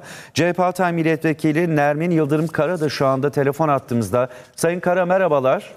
Merhabalar Soral Bey. Ee, Sayın Kara bu itirazın gerekçesi size ulaştırıldı mı? Yani böylesine ciddi iddialar varken neden itiraz edildiğine dair e, bir gerekçe sunuldu mu size? Bir de bundan sonra Cumhuriyet Halk Partisi'nin atabileceği bir adım var mı? Ne olur o? Ee, şu anda bize ulaşan hani bir gerekçeli karar, kısa karar, gerekçeli karar henüz yok. Sadece e, YSK temsilcimizin bize ifade ettiği üzere e, Hatay itirazının reddine yönelik. Şu an biz de genel merkezde il başkanımız, ilçe başkanlarımız ve milletvekillerimizle toplantı halindeyiz. Elbette e, yapılabilecek hukuki olarak ne varsa sonuna kadar bu mücadeleyi devam ettireceğimizden herkesin emin olmasını istiyoruz. Çünkü e, biz biraz evvel siz de ifade ettiniz ki gerçekten 80 küsür sayfalık bir itiraz metninin bu kadar kısa süre içerisinde nasıl e, temas edildi, nasıl delillendirildi ya da bunun gerçeklikle olan bağlantısını nasıl ortaya çıkardılar biz de bunu merak ediyoruz. Öyle iddialar vardı ki e, ölü seçmenlerin e, oy kullandırıldığına dair sandık kurulu başkanlarının kamu niteliği personeli olmayan nevide kullanmasını e, arz ettiğimiz birçok delilimiz e, ıslak imzalı tutanaklarda yapılan bir sürü usulsüzlük, geçersiz oy, oy kullanan sayı ve seçmen sayısını birbiriyle örtüşmeyen tutanakları elimizde ibraz etmiş olmamıza rağmen bu kadar kısa sürede nasıl bir oldu bittiye getirilip de bunları ortaya çıkardılar. İskenderun'da 5102 geçersiz oyumuz var. 5 kat. Aramızdaki fark 1071. E, Hatay Büyükşehir'de 2569 fark var. E, geçersiz oy 38.888 15 kat. E, işte basına yansıyan sizlerin de ekranında görülen biraz evvel ilçe seçim kurulu hakimlerinin e, tavırları, halleri, bir siyasi parti temsilcisi gibi davranışları ve edaları yani bu bu seçime gölge düşürmüyor mu? Tüm kamuoyunun hani vicdanına sormak lazım ve biz Can Atalay'ın Can Atalay'ın e, hukuksuzca e, cezaevinde bırakılmasından dolayı aylarca günlerce ne kadar çok hukukun üstünlüğünü ve yargının bağımsızlığının tecelli etmesi için e, mücadele ettik. Günün sonunda e, bu sadece Hatay'da değil başka bir ilimizde ilçemizde de olsaydı yani bu itirazı yükseltmek bizim için sağlıklı ve doğru olandı. Neden Yüksek Seçim Kurulu hakimlerinin bu şekilde karar verdiğini gerçekten anlamıyoruz. Niye oldu bittiye getiriyorlar? Niye bizden e, itirazlarımıza konu olan delilleri, bu tahlilleri istemiyorlar? Gerçekten bu ülkedeki hukuk sisteminin ne hale geldiğini gözler önüne seren e, olaylar yaşanıyor. Peki e, şimdi Lütfü Savaş'ın da şu anda bir sosyal medyada paylaşım oldu. Birazdan arkadaşlarım ekranlara getirecektir hazırlıyorlar ama ben isterseniz buradan öncelikle okuyayım. E, şöyle dedi Sayın Savaş. Adalete inanan binlerce hemşehrimiz ve partilimizle Ankara'da YSK'da hakkımızı arıyoruz. Yüksek Seçim Kurulu'na itirazlarımız devam ederken Hatay İl Seçim Kurulu'nun AKP adayına mazbata vermesi hukuksuzdur. Hatay'da e, 3389 vefat etmiş vatandaş adına oy kullanılmıştır. AKP adayıyla aramızda 2569 oy farkı olmasına rağmen geçersiz sayılan 38888 oy vardır. AKP'nin itiraz ettiği yerlerde hızlıca lehte karar alan YSK'nın bu kadar şaibenin olduğu Hatay'da halkın iradesine saygı duyacak, vicdanları rahatlatacak, hakkı, hukuku gözeten bir karar almasını bekliyoruz. Tabii bu karardan önce e, yapmış olduğu paylaşımdı. E, bu süreçte bizlere destek olan CHP yönetim ve üyeleriyle bizlere inanan herkese teşekkür ediyoruz diyor Lütfü Savaş. Bu karardan hemen önce yapmış olduğu bir paylaşım. Bunu bu şekilde düzelteyim. Peki e, son olarak şunu da sorayım Sayın Kara. E, YSK'nın almış olduğu bu karar son karar mı? Karşısında atılabilecek hukuken bir adım var mı? E, hukukçu arkadaşlarımız değerlendirecekler. Yapılabilecek bir şey varsa mutlaka üzerine gidilecek. Yeniden bir başvuru olacak. E, yani hukuki yöntemler bu merhale bitmemiş ise çünkü biz ilçe seçim, il seçim ve YSK e, kararın da gerekçede kararı görmediğimiz için henüz yapılacak bir şey varsa mutlaka seçim işlerinden sorumlu e, hukuk dan sorumlu Genel Başkan Yardımcımız ve avukatlarımız bu konuda çalışacaklar. Ama ben de şuna atıfta bulunmak istiyorum Sorel Bey son def- son cümle olarak.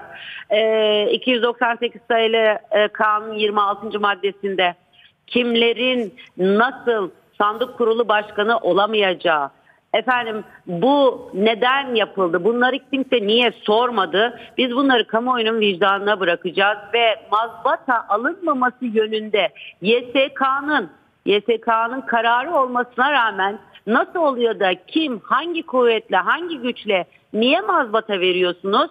Bunu gerçekten sorgulamak gerek bu ülkede artık bu hukuk sistemini. E, dolayısıyla yanlış bulduğumuzu biz zaten şunu söyledik. Oylara geçersiz oyları sayın. Efendim seçimi yenilediğin, yenileyin dediğimizde zaten demokrasinin gereği olarak kim haklıysa o kazansın. Biz zaten sadece bunu istemiştik. Fakat bu itirazlarımız bile kabul görmedi. Bu ülkedeki bu yargıya ve adalete inancımız gittikçe azalıyor. Bunu da ez cümle olarak söylemek istiyorum. Çok teşekkür ediyorum Sayın Kara. Ee, yayınımıza katıldığınız ilk değerlendirmelerinizi bizimle paylaştığınız için. Çok teşekkür ediyorum. İyi yayınlar diliyorum. Teşekkür ediyorum. Ee, bu arada mazbatanın verildiği aday mı arkadaşlar? Ben yanlış mı anladım? Ee, AK Parti'nin adayı Mehmet Öntürk. Ee, CNN Türkiye galiba telefon bağlantısı yapmış. Cümleyi bir daha alabilir miyim arkadaşlar? Peki, e, ortalığı germe e, peşindeler e, diye bir açıklama yapmış. Kim için söylemiş bilmiyorum ama Mehmet Öntürk'ün de böyle bir açıklaması var. Şimdi biz devam edeceğiz tabii ki. E, gündemde oldukça sıcak başlıklar var.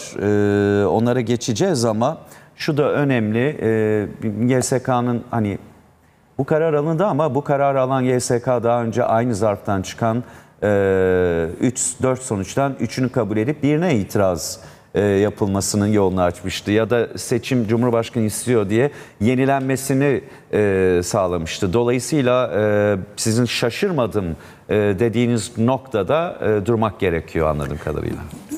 Tam da e, tam da düşündüğüm bir yere getirdiniz sözü. Bu hukuk tekniği açısından seçime yönelik bir karar verilmiş gibi görünse de seçimlerin hemen sonrasında bu Hatay'a ilişkin alınan kararın e, Hatay gibi yaralı bir coğrafyada, Hatay gibi çok tartışmalı, çok yardıma, şefkate ihtiyacı olan bir coğrafyadaki seçim sonucunun bu şekilde açıklanması önümüzdeki siyasal sürece ilişkinde Sorel Bey bence işaretler içeriyor. Hı hı. E, bunun bildiğiniz gibi artık hukuk sadece hukuk değil Türkiye'de. E, yürütmeye, e, merkezi yönetime son derece bağımlı bir biçimde kararlar görüyoruz. Bu bağlamda da önümüzdeki dönemin siyasal atmosferine yönelik bir boyutu var. Ee, özellikle de e, talihsiz açıklaması Hatay'ın şu anda mazbata almış, seçilmiş diyemiyorum ben henüz. Mazbata almış Evet. belediye başkanının açıklamaları da daha çok bu gerginliği üretme ve bu gerginliği artırmaya dönük çabalar. Ee, şöyle bitireyim. Bu hukuk ve seçim tekniğine yönelik bir sonuç gibi görünse de bunun e, siyasetin makro ölçütleri açısından çok hayırlı bir dönem olmadığını, çok hayırlı bir başlangıç olmadığını belirtmek isterim. Peki.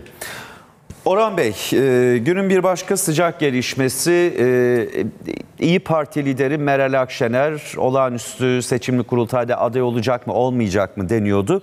Aday olmayacağını e, açıkladı. Akabinde de üst üste partinin ağır isimlerinden adaylık başvuruları aday olacağım açıklamaları geldi. Önce şunu sormak istiyorum. İyi Parti'nin ve Sayın Akşener'in bu noktaya gelme sebebi seçmeninin, İyi Parti seçmeninin e, ne Sayın Akşener'in söylemini ne de partide alınan yön e, kararını tasvip etmemesinin sonucu mu?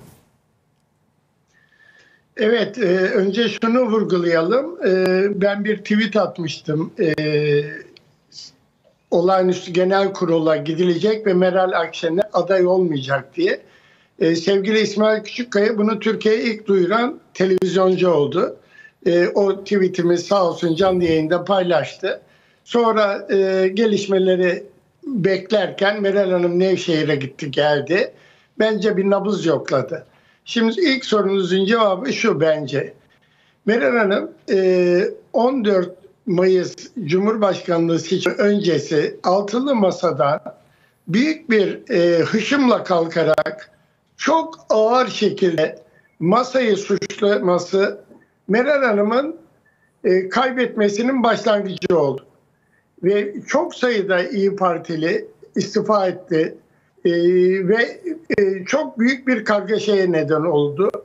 Peşinden e, Cumhurbaşkanlığı seçimi sonrası hem e, Cumhuriyet Halk Partisi'ne 180 derece bir dönüş yaparak hücum etmesi Millet İttifakı paydaşlarıken hem de daha da inanılmazı Mansur Yavaş ve Ekrem İmamoğlu'na hatta hatta hırsızlıkla suçlayarak e, diğer belediye başkanları da tabii dahil veya CHP'ler dahil çok sert dönüş yapması. Ve e, tabii 31 Mart yerel seçiminden önceki bir diğer kırılma noktası da biz öz başımıza gireceğiz, boyumuzun ölçüsünü alacağız e, demeci ve bunun arkasında da Genel İdare Kurulu'nun e, bu konuda bir karar vermesi. Ben şöyle düşünüyorum. Meral Hanım e, kendi kaderini kendi çizdi. Daha önce de Afyonkarahisar'da evime döneceğim demişti, dönmüştü. Ve sonra delegeler o aday gösterince geri gelmişti. E, geri gelme ihtimali var mı? Aday gösterilebilir ama kabul eder mi etmez mi bilmiyorum. E, özellikle e, bu kadar aday çıktıktan sonra Meral Hanım'ın ben evden geri geleceğim demesi için bir e, top, e, toplumsal ya da e, İyi Parti seçmeni ya da delegesi bazında bir değişim olacağını düşünmüyorum. E, şimdi seçime gelince ben ilk kez burada açıklayayım sevgili Soner. Hem Koray Aydın'la hem Müsavat Dervişoğlu'yla yayından önce görüştüm. İkisinin de görüşleri şu ana kadar açıklanmadığı için ilk kez Halk TV'de açıklamış olayım. Ee, Sayın Koray Aydın'la başlayayım. Önce onunla konuştum. Ee, çok büyük bir teveccüh var delegelerden ve tabandan. Ee, arkadaşlarımızdan büyük destek alıyorum. Ve e, çok farklı kazanacağıma inanıyorum. Ee, İyi Parti'yi 2028'de iktidara götürecek yolun taşlarını döşemeye başlayacağız. Bunun için de atacağımız ilk adım e, yapılacak e, kurultaydır, genel kuruldur dedi. E, gayet moralliydi. Ben çok eski dostumdur, arkadaşımdır Koray Bey, Sayın Bakan. E, bayağı e, heyecanlıydı ve yanı da çok kalabalıktı. E, dolayısıyla ondan bu mesajı aldım. Sonra Müsavat Dervişoğlu'nu aradım. E, o da benim e, basketbolcu kardeşimdir, onu da söyleyeyim.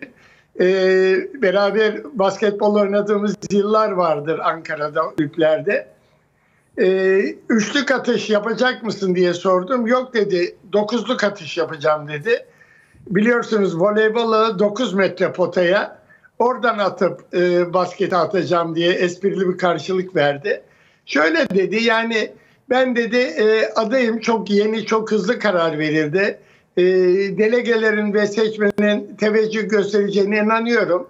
Tek bir kişinin kalbini kırmadan aday olmaya çalışacağım. Eğer bir kalp kırarsa o e, genel başkanlık olmasın benim için dedi. Çok birleştirici, bütünleştirici bir yanıt verdi. O da e, İyi Parti'nin e, son iki seçimde e, büyük bir e, düşüş yaşadığını, e, bunu çok hızlı telafi etmek gerektiğini, ancak genel kurulun bu kadar yakın olması nedeniyle adayların yeterli çalışma imkanı bulamadığını dan yakındı. Dolayısıyla her ikisine de ben de başarılar diledim ve ilk demeçlerini de burada söyledim çünkü Halk TV'de sizin ağzınızdan vereceğim.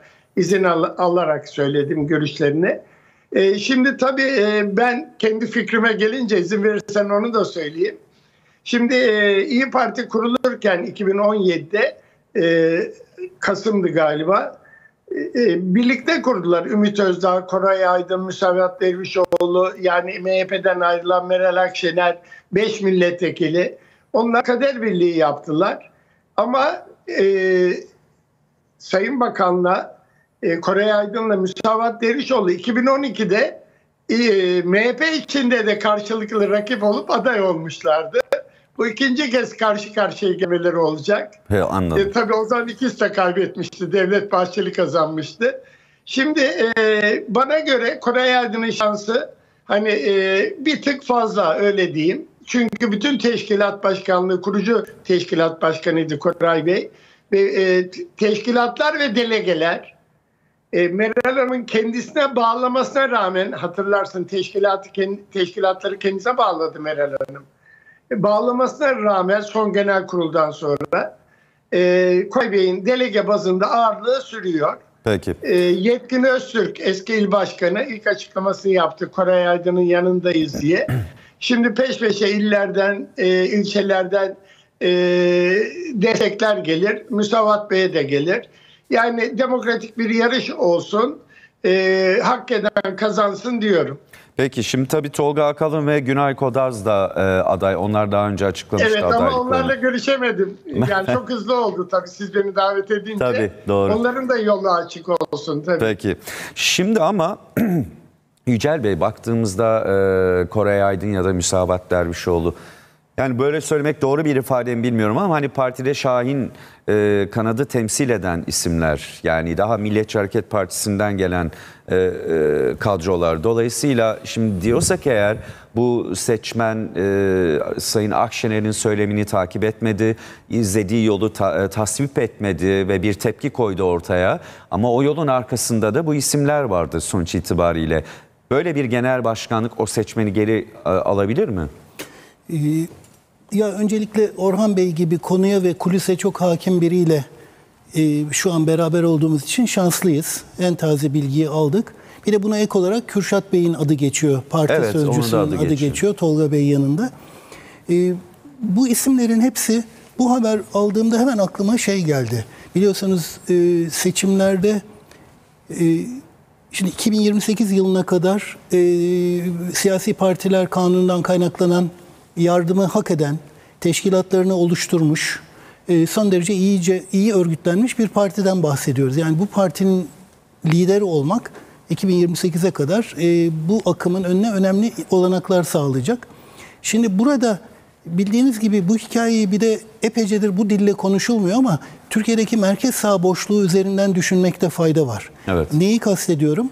Bir yeniden Refah Partisi çıkışı ile eğer milli görüş söylemi birazcık daha keskin bir biçimde İslami söylem eğer yeniden Refah Partisi tarafından sahiplenildiği bir ortamda bu merkez sağdaki boşluk daha da büyüyecek. Onun için burada bu ismi geçen çok yıllarını bu işe adamış, çok genç Ülke Ocakları Genel Başkanlığından çok e, on yıllardır emek vermiş bu isimlerin isimleri ötesinde bu partinin e, merkez sağ parti olmak ile Milliyetçi Hareket ülkücü geleneğin saf ülkücülerden oluşan ya da o tabana hitap eden bir parti olmak arasındaki kararı gibi de olacak. Onun için ben belki kulis bilgisi bende olmaz, bende yok ama ben acaba bu öne çıkan adaylar arasında belli gruplaşmalar ve müzakereler olur mu diye kulak kabartmaktan yanayım. Çünkü ismi geçen bazı isimler e, teşkilata çok hakim olsa da e, belli özellikleri itibariyle e, belki belli farklı e, birleşmeler, e, gruplaşmalar olabilir diyorum. Bu hiç bunu bilgiye dayanarak söylemiyorum. Ama şöyle bitireyim. E, bu kişiler üzerinden bir, bir parti liderliği olarak değil de Türkiye sağının yenilenmesi bağlamında çok kritik bir dönemece giriyoruz. Böyle görmekte fayda var. Peki Orhan Bey son olarak şunu e, sormak istiyorum. Sayın Akşener Müsavat Dervişoğlu'nu işaret edecek iddiaları vardı ama bu iddiayı şunun üzerinden sorayım.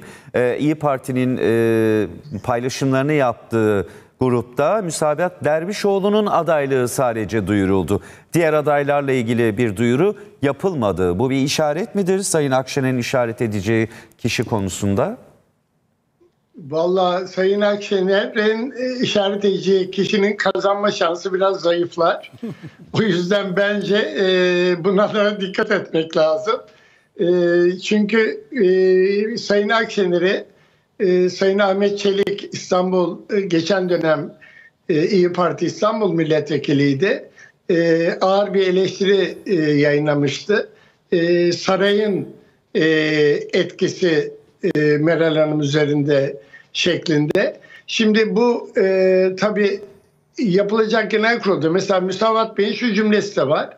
Diyor ki kim kazanırsa adaylardan İyi Parti kazanacak diyor. Birlik ve beraberlik içinde diyor iktidara taşıyacağız diyor. Yani bir e, ayrılık ya da bir parçalanma değil bir bütünleşmeden bahsediyorlar. Onun için e, yalnız hocamın söylediği çok değerli bir şey. E, bilgiye dayanmıyor, polis bilgilerine dayanmıyor dedi ama şimdi merkez sağda yeni bir yapılaşma çalışması var. Adalet Partisi e, Genel Başkanı Doktor Vecdet Öz sosyal medyada sürekli paylaşıyor. Bayramdan sonra önemli açıklamalar yapacağım diye. E, Merkez Sağ Parti'de, Merkez Sağ Parti olarak e, büyük bir boşluk var. Yani AK Parti milli görüş mü, yeniden refah milli görüş mü, saadet milli görüş mü? E, Erdoğan'ın e, ben final yapıyorum son seçimim demesi tabii Saadet Partisi ve yeniden refahın da şanslarını arttırıyor. Ama merkez sağda çok büyük boşluk var. Yani merkez sağda olacak bir e, liderle ortaya çıkacak parti bence 2024-2028 döneminin yıldızı gibi parlayabilir. Çünkü MHP'nin durumu belli, İyi Parti'nin durumu belli. CHP 31 Mart'ta muhteşem bir sonuç aldı. Kimsenin ummadığı bir sonuç aldı. Seçmen artık Erdoğan ve Bahçeli'ye dur dedi. Burada en önemli konulardan bir tanesi anayasa değişikliğinin gündeme geliyor olması. Şimdi anayasanın değişip halk oylamasına gitmesi için 360 oy lazım.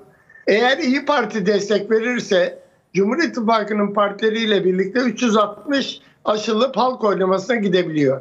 O yüzden İyi Parti'nin lideri kim olacak ise e, hem hani saray politikaları diyelim hem Cumhur İttifakı'nın Erdoğan ve Bahçeli'nin bu anayasa çağrısına Meral Hanım gelsin önümüze görelim demişti. Keza Ali Babacan da bir şekilde söylemişti. Şimdi bu e, konu Türkiye'nin asıl konusu haline gelecek. Onun için İyi Parti'nin genel başkanı seçilecek genel başkanını e, bir e, saray entrikasına kurban gitmemesi de önemli. Çünkü Meral Hanım'ın e, bu kaybetmesinin nedenlerinden biri de bana göre e, etrafındaki e, gizli sarayın kriptosu olan siyasetçilerden yanlış yönlendirmesi olduğunu düşünüyorum. Özellikle 31 Mart seçiminde. Bakın şöyle yazmıştım senin programda da Soner'cim hatırlarsın. E, dedim ki e, İyi Parti'nin ortak aday çıkarmaması CHP ile Erdoğan'ın ekmeğine yazdılar. AK, AK Parti'yi kazandırır. O zaman kimin lehine bu kararı alıyor İyi Parti demiştim. 7 ilde eğer ortak aday çıkarsaydı CHP ve İyi Parti AKP kazanamayacaktı. Ordu mesela bunlardan bir tanesi. Samsun diğeri.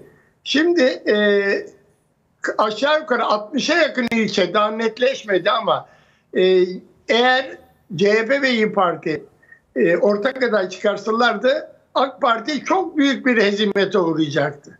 Yani Millet İttifakı'ndan ayrılması Meral Hanım'ın siyasi ve tarihi bir hata oldu. Hani demişti ya ya tarih yazacağız ya tarih olacağız diye. Tarih olacak kendisi. Yaşadığı dönemde siyasi parti genel başkanı olduğu dönemde maalesef o masadan kalktığıyla 31 Mart yerel seçimindeki Millet İttifakı'nı bozmasıyla ve daha da ağrı e, Ekrem İmamoğlu ve Mansur Yavaş'ı yere göğe sığdıramazken onları hırsızlıkla suçlaması e, Meral Akşener için de kara bir leke olacaktır siyasi hayatında. Bir de şunu vurgulayayım eğer izin verirsen. Hocam da katılır mı bilmiyorum. Sevgili Soner genel başkan olmak çok kolay. 1200 delege var. 601 oy alırsan genel başkansın. Ama bu genel başkan toplum nezdinde e, lider olduğunu ispat etmeye yetmiyor seçilen genel başkanın. Liderlik vasıfları siyasette ayrı vasıflardır.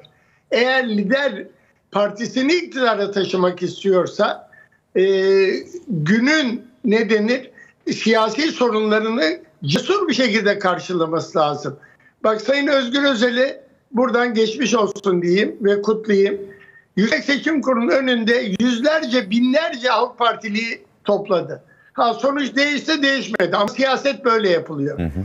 14 Mayıs seçiminden önce Yüksek Seçim Kurulu'na Recep Tayyip Erdoğan başvurup üçüncü kez aday olacağını MHP ve AKP oylarıyla e, dilekçeleri verdikleri gün o günkü CHP yönetimi maalesef anayasayı çiğnetmeyiz, aday olamazsın Erdoğan, Yüksek Seçim Kurulu'na kabul edemezsin diye kapının önüne yüz binleri yığmadılar. Yani toplumsal bir baskı oluşturmadılar. Dolayısıyla bugün meşruiyeti, anayasal meşruiyet olmayan seçilmiş Cumhurbaşkanı Recep Tayyip Erdoğan var. Aynı Kenan Evren gibi. O da 82'de darbeyle geldi 80'de. 82'de e, Cumhurbaşkanı halk oyuyla seçildi. Anayasa değişikliğinin içine geçici madde koyarak seçildi. Bugün Türkiye'de böyle bir yüksek seçim kurulu varken ne anayasadan bahsedebiliriz, ne demokrasiden bahsedebiliriz, ne özgür medyadan bahsedebiliriz, ne de seçimlerin tarafsızlıkla ve bağımsızlıkla yapıldığını söyleyemeyiz. Peki, Hatta Yüksek Seçim Kurulu içinde kara bir lekedir. Oradaki yargıçlar içinde ailelerine karşı mahcup olacakları bir karardır. Peki. Sayın Uğuroğlu çok teşekkür ediyorum katılımınız için, değerlendirmeleriniz için. Sağ olun. Ben de teşekkür ediyorum Halk TV e, izleyicilerine, Türk milletine, Soner Dağıstanlı ve ailesine, Sayın Hocamın ailesine hayırlı Ramazan bayramları diliyorum. Sağlıkla, mutlulukla, esenlikler diliyorum. Bir mukabele çok teşekkür ediyoruz e, Sayın Uğuroğlu. Şimdi e, bir konuğumuz daha var. E, Şule Bucak, CHP eski Genel Sekreter Yardımcısı. Sayın Bucak merhabalar, hoş geldiniz. Merhaba, merhaba, hoş bulduk. İzin verirseniz Yücel Hocama da bir e, merak ettiğim bir noktayı sormak istiyorum. Sayın Akşener'in e, aday olmayacağım açıklamasında şöyle bir cümle var. Bugün İyi Parti sarsılmış ama ne iktidarın ne ana muhalefetin ne de 2028 hesapları kovalayan bir takım aktörlerin arka bahçesi olmaya direnmişse ben bu bedele razıyım ve hatta İyi Parti bugünü feda etme uğruna bu gidişle yarın Türkiye'nin önüne çıkacak türlü musibetlere karşı her zaman dik duruşunu gösterebilecek bir tutum almayı, almayı başarabildiyse ben bu bedele razıyım diyor. Yani bu şu mu demek? Bedele razıyım ben görevimi yaptım. Yani e, Ya da ben yapılması gerekeni yaptım. Kim için? Ne için? Siyaset yapmak, halk için siyaset yapmakla bir görevi yerine getirmek, e, her şeye rağmen, seçmene rağmen bir şeyler yapmak e, farklı şeyler değil mi? Siyasal süreç, süreçleri biraz böyle insani özelliklerini artırarak daha kişiye özgü yumuşaklıkları, tonları katmanın çok avantajları olduğunu düşünenlerdenim. Böyle çok gri e, ortamlarda gri giysili insanların gri cümlelerinden çok şikayetçiyimdir ama özellikle Sayın Akşener'in e, son yıla belki son birkaç yıla sığdırdığı siyasal tonun e, bununla karıştırılmaması gerektiğini düşünüyorum. Bu da e, bence çekilmekte siyasal alandan hiç de başarılı sayılmayacak bir biçimde çekilmekte olan bir liderin e, bir kendisini meşrulaştırma cümleleri gibi geliyor benim Görüyorum. kulağıma. Daha e, daha sert bir yorumun gerektiğini düşünmüyorum ama en azından ben e, Meral Akşener'in bu açıklama biçimiyle hiç ikna olmadığımı belirtmek isterim. Peki. O zaman Şule Hanım şimdi önemli bir e, konu çünkü Cumhuriyet Halk Partisi Genel Başkanı Özgür Özel Bükreş'te Avrupa Sosyalistler Partisi toplantısına katıldı ve siz de oradaydınız. Ben önce şunu sormak istiyorum bu seçim sonucuyla birlikte e, Cumhuriyet Halk Partisi Avrupa'daki en büyük sosyal demokrat parti konumuna geldi demek doğru olur mu? Çünkü sanırım Avrupa'da en çok belediyeyi siz de paylaşım yaptınız belediyeye sahip yöneten e, parti konumunda öyle değil mi? Evet çok doğru. Ee, en büyük parti olduk. Genel başkanımız e, derhal genel başkan seçildiği andan itibaren aslında Avrupa'daki sosyal demokrat partilerle yakın bir ilişki içine girdi. Buna çok önem veriyor ve Avrupa Birliği, Türkiye'nin Avrupa Birliği e, sürecinin yeni üyeliğinin yenilenmesi için de bunun çok önemli olduğunu görüyor doğru olarak ve bunun gündeme gelmesi için de bütün temaslarımızda e, bu konuları görüşüyor. Bazı başka sorunlarımızın yanı sıra. Şimdi e, genel başkan seçildiği anda e, seçildikten sonra biliyorsunuz üç tane çok önemli toplantıya katıldı. Önce tabii çok tebrikler e, kendisine geldi. İlk başta genel başkan seçilince SPD eş genel başkanı Lars Klingbeil e, Berlin'de kongreye davet etti ve o kongreye Sayın İlhan Uzgel, Genel Sekreterimiz Selin Sayek Böke ve Genel Başkanımızla birlikte katıldık. İnanılmaz bir ilgi vardı Genel Başkan'a. Ee, Aslında bu toplantı, bu kongrelerde bir tane uluslararası konuşmacı olur. Burada e, Genel Başkan, SPD Genel Başkanı e, Özgür Özel'e de konuşması yapması için rica etti ve İspanya Başbakanı Sosyalist Enternasyonal Başkanı Pedro Sanchez'ti e, konuşmacı. Ondan sonra da Genel Başkanımız çıktı sahneye. Fakat biz e, salona girdiğimizde e, inanılmaz sıcak bir karşılamayla e, karşılaştık. Orada biliyorsunuz birçok SPD'de Türkiye kökenli milletvekillerimiz de var. Onlar da hemen koşup geldiler yanımıza. Ee, ve e, gene kongreden önce önce Martin Schulz'la görüştük. Kendisi biliyorsunuz Avrupa Parlamentosu eski başkanıydı. SPD eski genel başkanı ve şu anda da çok önemli Frederick Ebert Vakfı'nın başkanı. Ee, onunla çok sıcak bir görüşme yaptık. Daha sonra Lars Klingbeil ile ee, ve e, esas Sayın e, Olaf Scholz'la da bir görüşme ikili gerçekleştirildi. Olaf Scholz aslında şansölye seçildikten sonra hiçbir muhalefet lideriyle görüşmüyormuş uluslararası düzeyde. Ancak Özgür Özel'le kendisi görüşmek istedi ve çok olumlu e, görüşmeler oldu. E, daha sonra salonda e, girdiğimizde divan başkanı Berlin'de e, yeni seçilmiş CHP Genel Başkanı deyince e, inanılmaz bir alkış koptu. Pedro Sanchez'ten sonra da konuşmasını yapmak üzere e, sahneye çıktığında Almanca başladı. İnsanlar zannetti ki iki cümle Almanca söyleyip sonra başka dilde devam edecek. Fakat o hepsini Almanca e, konuşma yapınca herkes e, ayağa kalkıp ve de çok güzel konuştu. Daha sonra e, eş genel başkan Lars Klingbeil'i daha sonra gördüğümde mükemmel bir konuşma olduğunu söyledi bana. Ve SPD ile görüşmelerimizde hep ikili ilişkilerimizin yeniden çok yakın olması gerektiğini ve genel başkanların hemen önemli konularda derhal birbirleriyle görüşmelerini konuştular. Evet Berlin'de böyle. Daha sonra e, susayım mı? Estağfurullah. Ee, Konumuz varsa. susma ifadesi bizde yok. Evet. Ama şöyle Yücel Bey'e bir dönmek istiyorum. Ee, Tabii, buyurun. Şimdi şu, aslında şunu da söylemek gerekiyor. Eskiden bütün liderler yani yabancı dil çok doğaldı, konuşurdu. Ee, şimdi bir liderin yabancı dili hakim olması, konuşması bile haber oluyor. Yani bu, bu biraz da geldiğimiz durumu gösteriyor. Ecevit mesela ne kadar güzel İngilizce e, konuşuyordu. Liderlerin halktaki karşılığı uluslararası ilişkilerde ne ölçüde etkili Yücel Bey? Çok önemli. Ee, hanımefendiyi dinlerken gülümseme gerekçem. Beyin bu, durmuyor. Ee, bu Özgür Özel'in e, gördüğü iltifatı düşünürken hemen aklıma Adalet ve Kalkınma Partisi'nin bir 20 yıl öncesine gittim. Hepimizin bildiği gibi Adalet Kalkınma Partisi iktidarının o başlangıç yıllarında Avrupa Birliği'nin yükselen dalgalarının üzerine başarıyla binmeyi başarmıştı. Evet. Ve bunun e, toplum içinde bugün öyle değil ama o zaman Avrupa Birliği'ne üyelik çok e, arzu edilen bir şeydi. Ve bunun üzerinden çok e, içte ve dışta parsa toplanmıştı.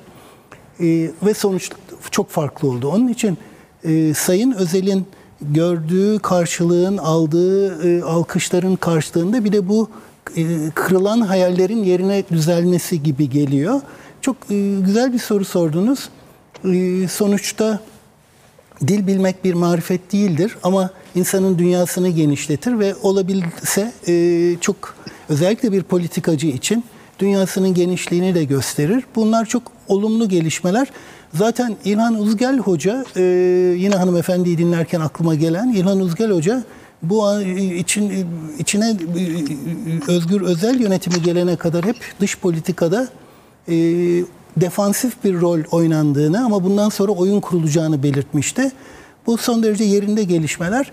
Tabii e, Cumhuriyet Halk Partisi'nin Avrupa e, benzeri denk partiler içindeki büyüklüğü ve özellikle Orta Doğu'nun içine içinde yer alması, kültürel yakınlığı ile de çok daha e, en az onlar kadar onların yanında olması çok önemli. Özellikle de çok hararetle desteklediğim ve geliştirilmesini çok arzu ettiğim bu Filistin meselesi konusunda CHP'ye ve Özgür Özel yönetimine daha da enerjik, daha da atak bir rol düşüyor. E, bu bağlamda e, yapılanları çok değerli bulduğumu e, akademik gözümle belirtmek isterim. Ama bunun ötesinde özellikle Türkiye gibi bir ortamda e, Özgür Özel'in oturduğu koltukta bir oturan bir liderin çok daha inisiyatif alacağı adımlar atmasını umuyoruz. Peki, Şule Hanım bu seçimler e, Cumhurbaşkanı Erdoğan için elbette bir sonuç ortaya koydu. Çünkü kendisi sahadaydı. E, bu gezilerin hepsinde e, Sayın Özgür Özel'le birlikte olduğunuz için e, sormak istiyorum. Tabii bu sonuç doğurdu derken e, yurt dışından bakış açısından onu kastediyorum. Yine Sayın Özel açısından da nasıl bir sonuç ortaya çıktı? Yani bu gezilerde e, ilgiye baktığınız zaman nasıl bir izlenim edindiniz? İnanılmaz bir ilgi var. Bir kere Özgür Özel genç. Hani gençlik başka bir şey gerçekten. İnanılmaz enerjik. Ee, hepsiyle çok yakın ilişki kurdu, iletişim kurdu. Şimdi buraya geçme, bir de yani Bükreş'teki toplantıyı esas anlatmamı istiyorsunuz. Oraya geleceğim. Ee, o özellikle tabii seçimlerden sonra katıldığımız bir toplantı oldu. Ancak onun öncesinde Madrid'de Sosyalist Internasyonel konsey toplantısına katıldık. Biliyorsunuz Sosyalist Internasyonel Başkanı Pedro Sanchez, e, Yücel Bey bu Filistin meselesini de söyledi. Onu da ona da burada değineyim. E, Sayın Genel Başkanımız zaten genel başkan olduktan sonra bu Filistin meselesini bizzat e, kendisi çok e, önem verdiği için çeşitli temaslarda da bulundu uluslararası düzeyde her katıldığımız toplantıda. E, Pedro Sanchez bazı liderlerin aksine Avrupa'da daima bizimle aynı şekilde söz dile getirdi fikirlerini ve e, orada da işte e, bu e, Madrid'deki toplantıda genel başkanımız e, Sosyalist Internasyonel Başkan Yardımcısı seçildi. Pedro Sanchez'le çok sıcak ilişkilerimiz başladı. Zaten Berlin'de de görüşmüştük ve orada e, Filistin meselesini genel başkanla görüştüler Sanchez e, ve genel başkan ona da söyledi ki kendisi de Filistin'e gitmek istediğini ve e, mücadeleye devam etmeleri gerektiğini. E, daha sonra da biliyorsunuz e, Pedro Sanchez geçenlerde yani Orta Doğu e, ziyareti kapsamında bir açıklama yaptı. Bunu da Genel Başkanımız Twitter'da yazdı bu konuyu. Pedro Sanchez e, dedi ki biz e, Filistin'i hükümetini, Filistin devletini tanıyacağız yazdan önce. Bunun üzerine Genel Başkan da bunu da kutlayan bir e, tweet attı. Ve yani sanıyorum Haziran'dan önce bu konu gündeme gelecek. Onlar devlet olarak kabul edecek ve onun arkasından bir sürü devletin de desteği gelir. E, ve Birleşmiş Milletler'de de bu konunun takipçisi olacaklarını söyledi Sanchez. E, daha sonra yerel seçimlere gelelim. Siz seçimler sonrasını sormuştunuz. Bükreş'te Avrupa Sosyalist Partisi Liderler Konferansı vardı. Yalnız ona geçmeden size Pedro Sanchez ilk e, mesajı şimdi bu Sosyalist Enternasyonel'de Başkanlık Divanı'nın bir chat görüş konuşma grubu var. İlk mesajı zaten e, Pedro Sanchez İspanya Başbakanı e, atmıştı Sayın Genel Başkanı. Evet. Ayrıca da uzun bir tebrik mektubu yollamış. Orada bir iki cümleyi okuyayım. Çok kısaca alabilirsek zaman e, çok kısa, biraz azaldı. Sosyalist Enter, çok kısa. Sosyalist Enternasyonel Başkanı olarak önemli ve köklü üye partilerimizden birinin belirleyici bir dönüm noktasını ulaştığını görmekten özellikle gurur duyuyorum. Zaferiniz yalnızca CHP'nin durumunu güçlendirmekle kalmıyor, aynı zamanda dünya çapındaki daha geniş ilerici harekete de canlılık kazandırıyor. Daha Peki. uzun ama sadece burasını Peki. söyledim size. Şule Hanım, Ee, e, şimdi tabii evet. diğer ayrıntıları da gönül ister ki dinleyelim ama zamanımız e, doldu ne yazık Azalıyor. ki. Evet. e, Ama ben çok size teşekkür hemen ediyorum. Bükreş söyle. Efendim? E, Bükreş'i e, evet onu Bükreş konuştuk ama çok kısaca söyleyeyim. Ee, esas çok önemli. Bükreş'te de Avrupa Sosyalist Partisi Liderler Konferansı'na katıldık. Ee, ve Sayın Selin Sayek Böke tabii çok e, önemli e, bir şey e, bu açıdan. Onun da inanılmaz ilişkileri var. Biliyorsunuz Avrupa Konseyi'nde çok etkin bir siyasetçiydi. Orada da açılış konuşmasında bu Romanya parlamentosunda açılış konuşmasında genel sekreter Avrupa Sosyalist Partisi'nin aramızda Alman şansölyesi Olaf Scholz ve seçimlerden zaferle çıkmış CHP Genel Başkanı Özgür Özel var deyince salonda sanıyorum 5000 kişiden fazla bir salon inanılmaz alkış koptu. Bunun üzerine Scholz yerinden kalkıp genel başkanın yanına gelip orada resimde de görüyorsunuz kendisini kutladı. Evet. Daha sonra da akşam liderler yemeğinde görüşmelerimiz oldu. Genel başkanımız da orada konuşunca inanılmaz alkış aldı. Bu küçük bir yemek sadece liderlerin ama biz de Selin Hanım'la katıldık. anladım. Ee, Ondan sonra da herkes resim çekme yarışına girdi. Orada da genel başkan özellikle bu e, Iratse Garcia Perez kendisi Avrupa Parlamentosu'nda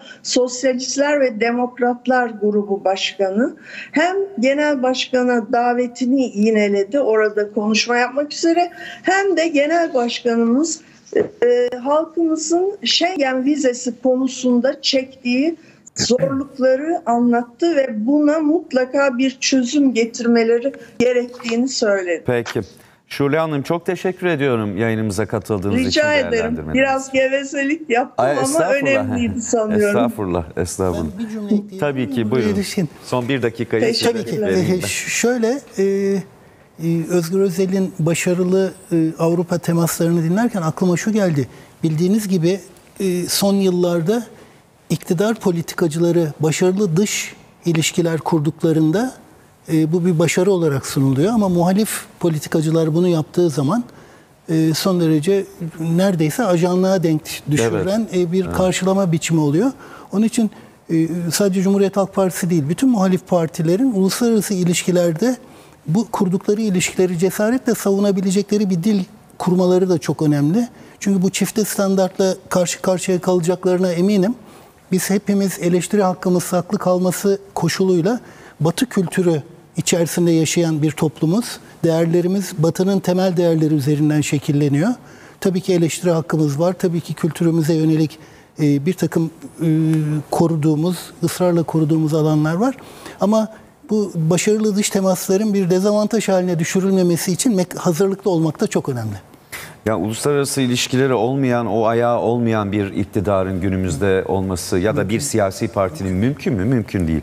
Dış güçler değil mi? Dış güçler bazen içeride olabilir, başka bir yerde olabilir ama yani e, neyse burada bitirelim. Çok teşekkür Ben çok ediyorum teşekkür Yücel. Bey katıldığınız için. E, burada noktalıyoruz. E, yarın aynı saatte biz gündem özelde karşınızda olacağız. Kısa bir ara Sela Selek Halk Ana Haber'de karşınızda olacak.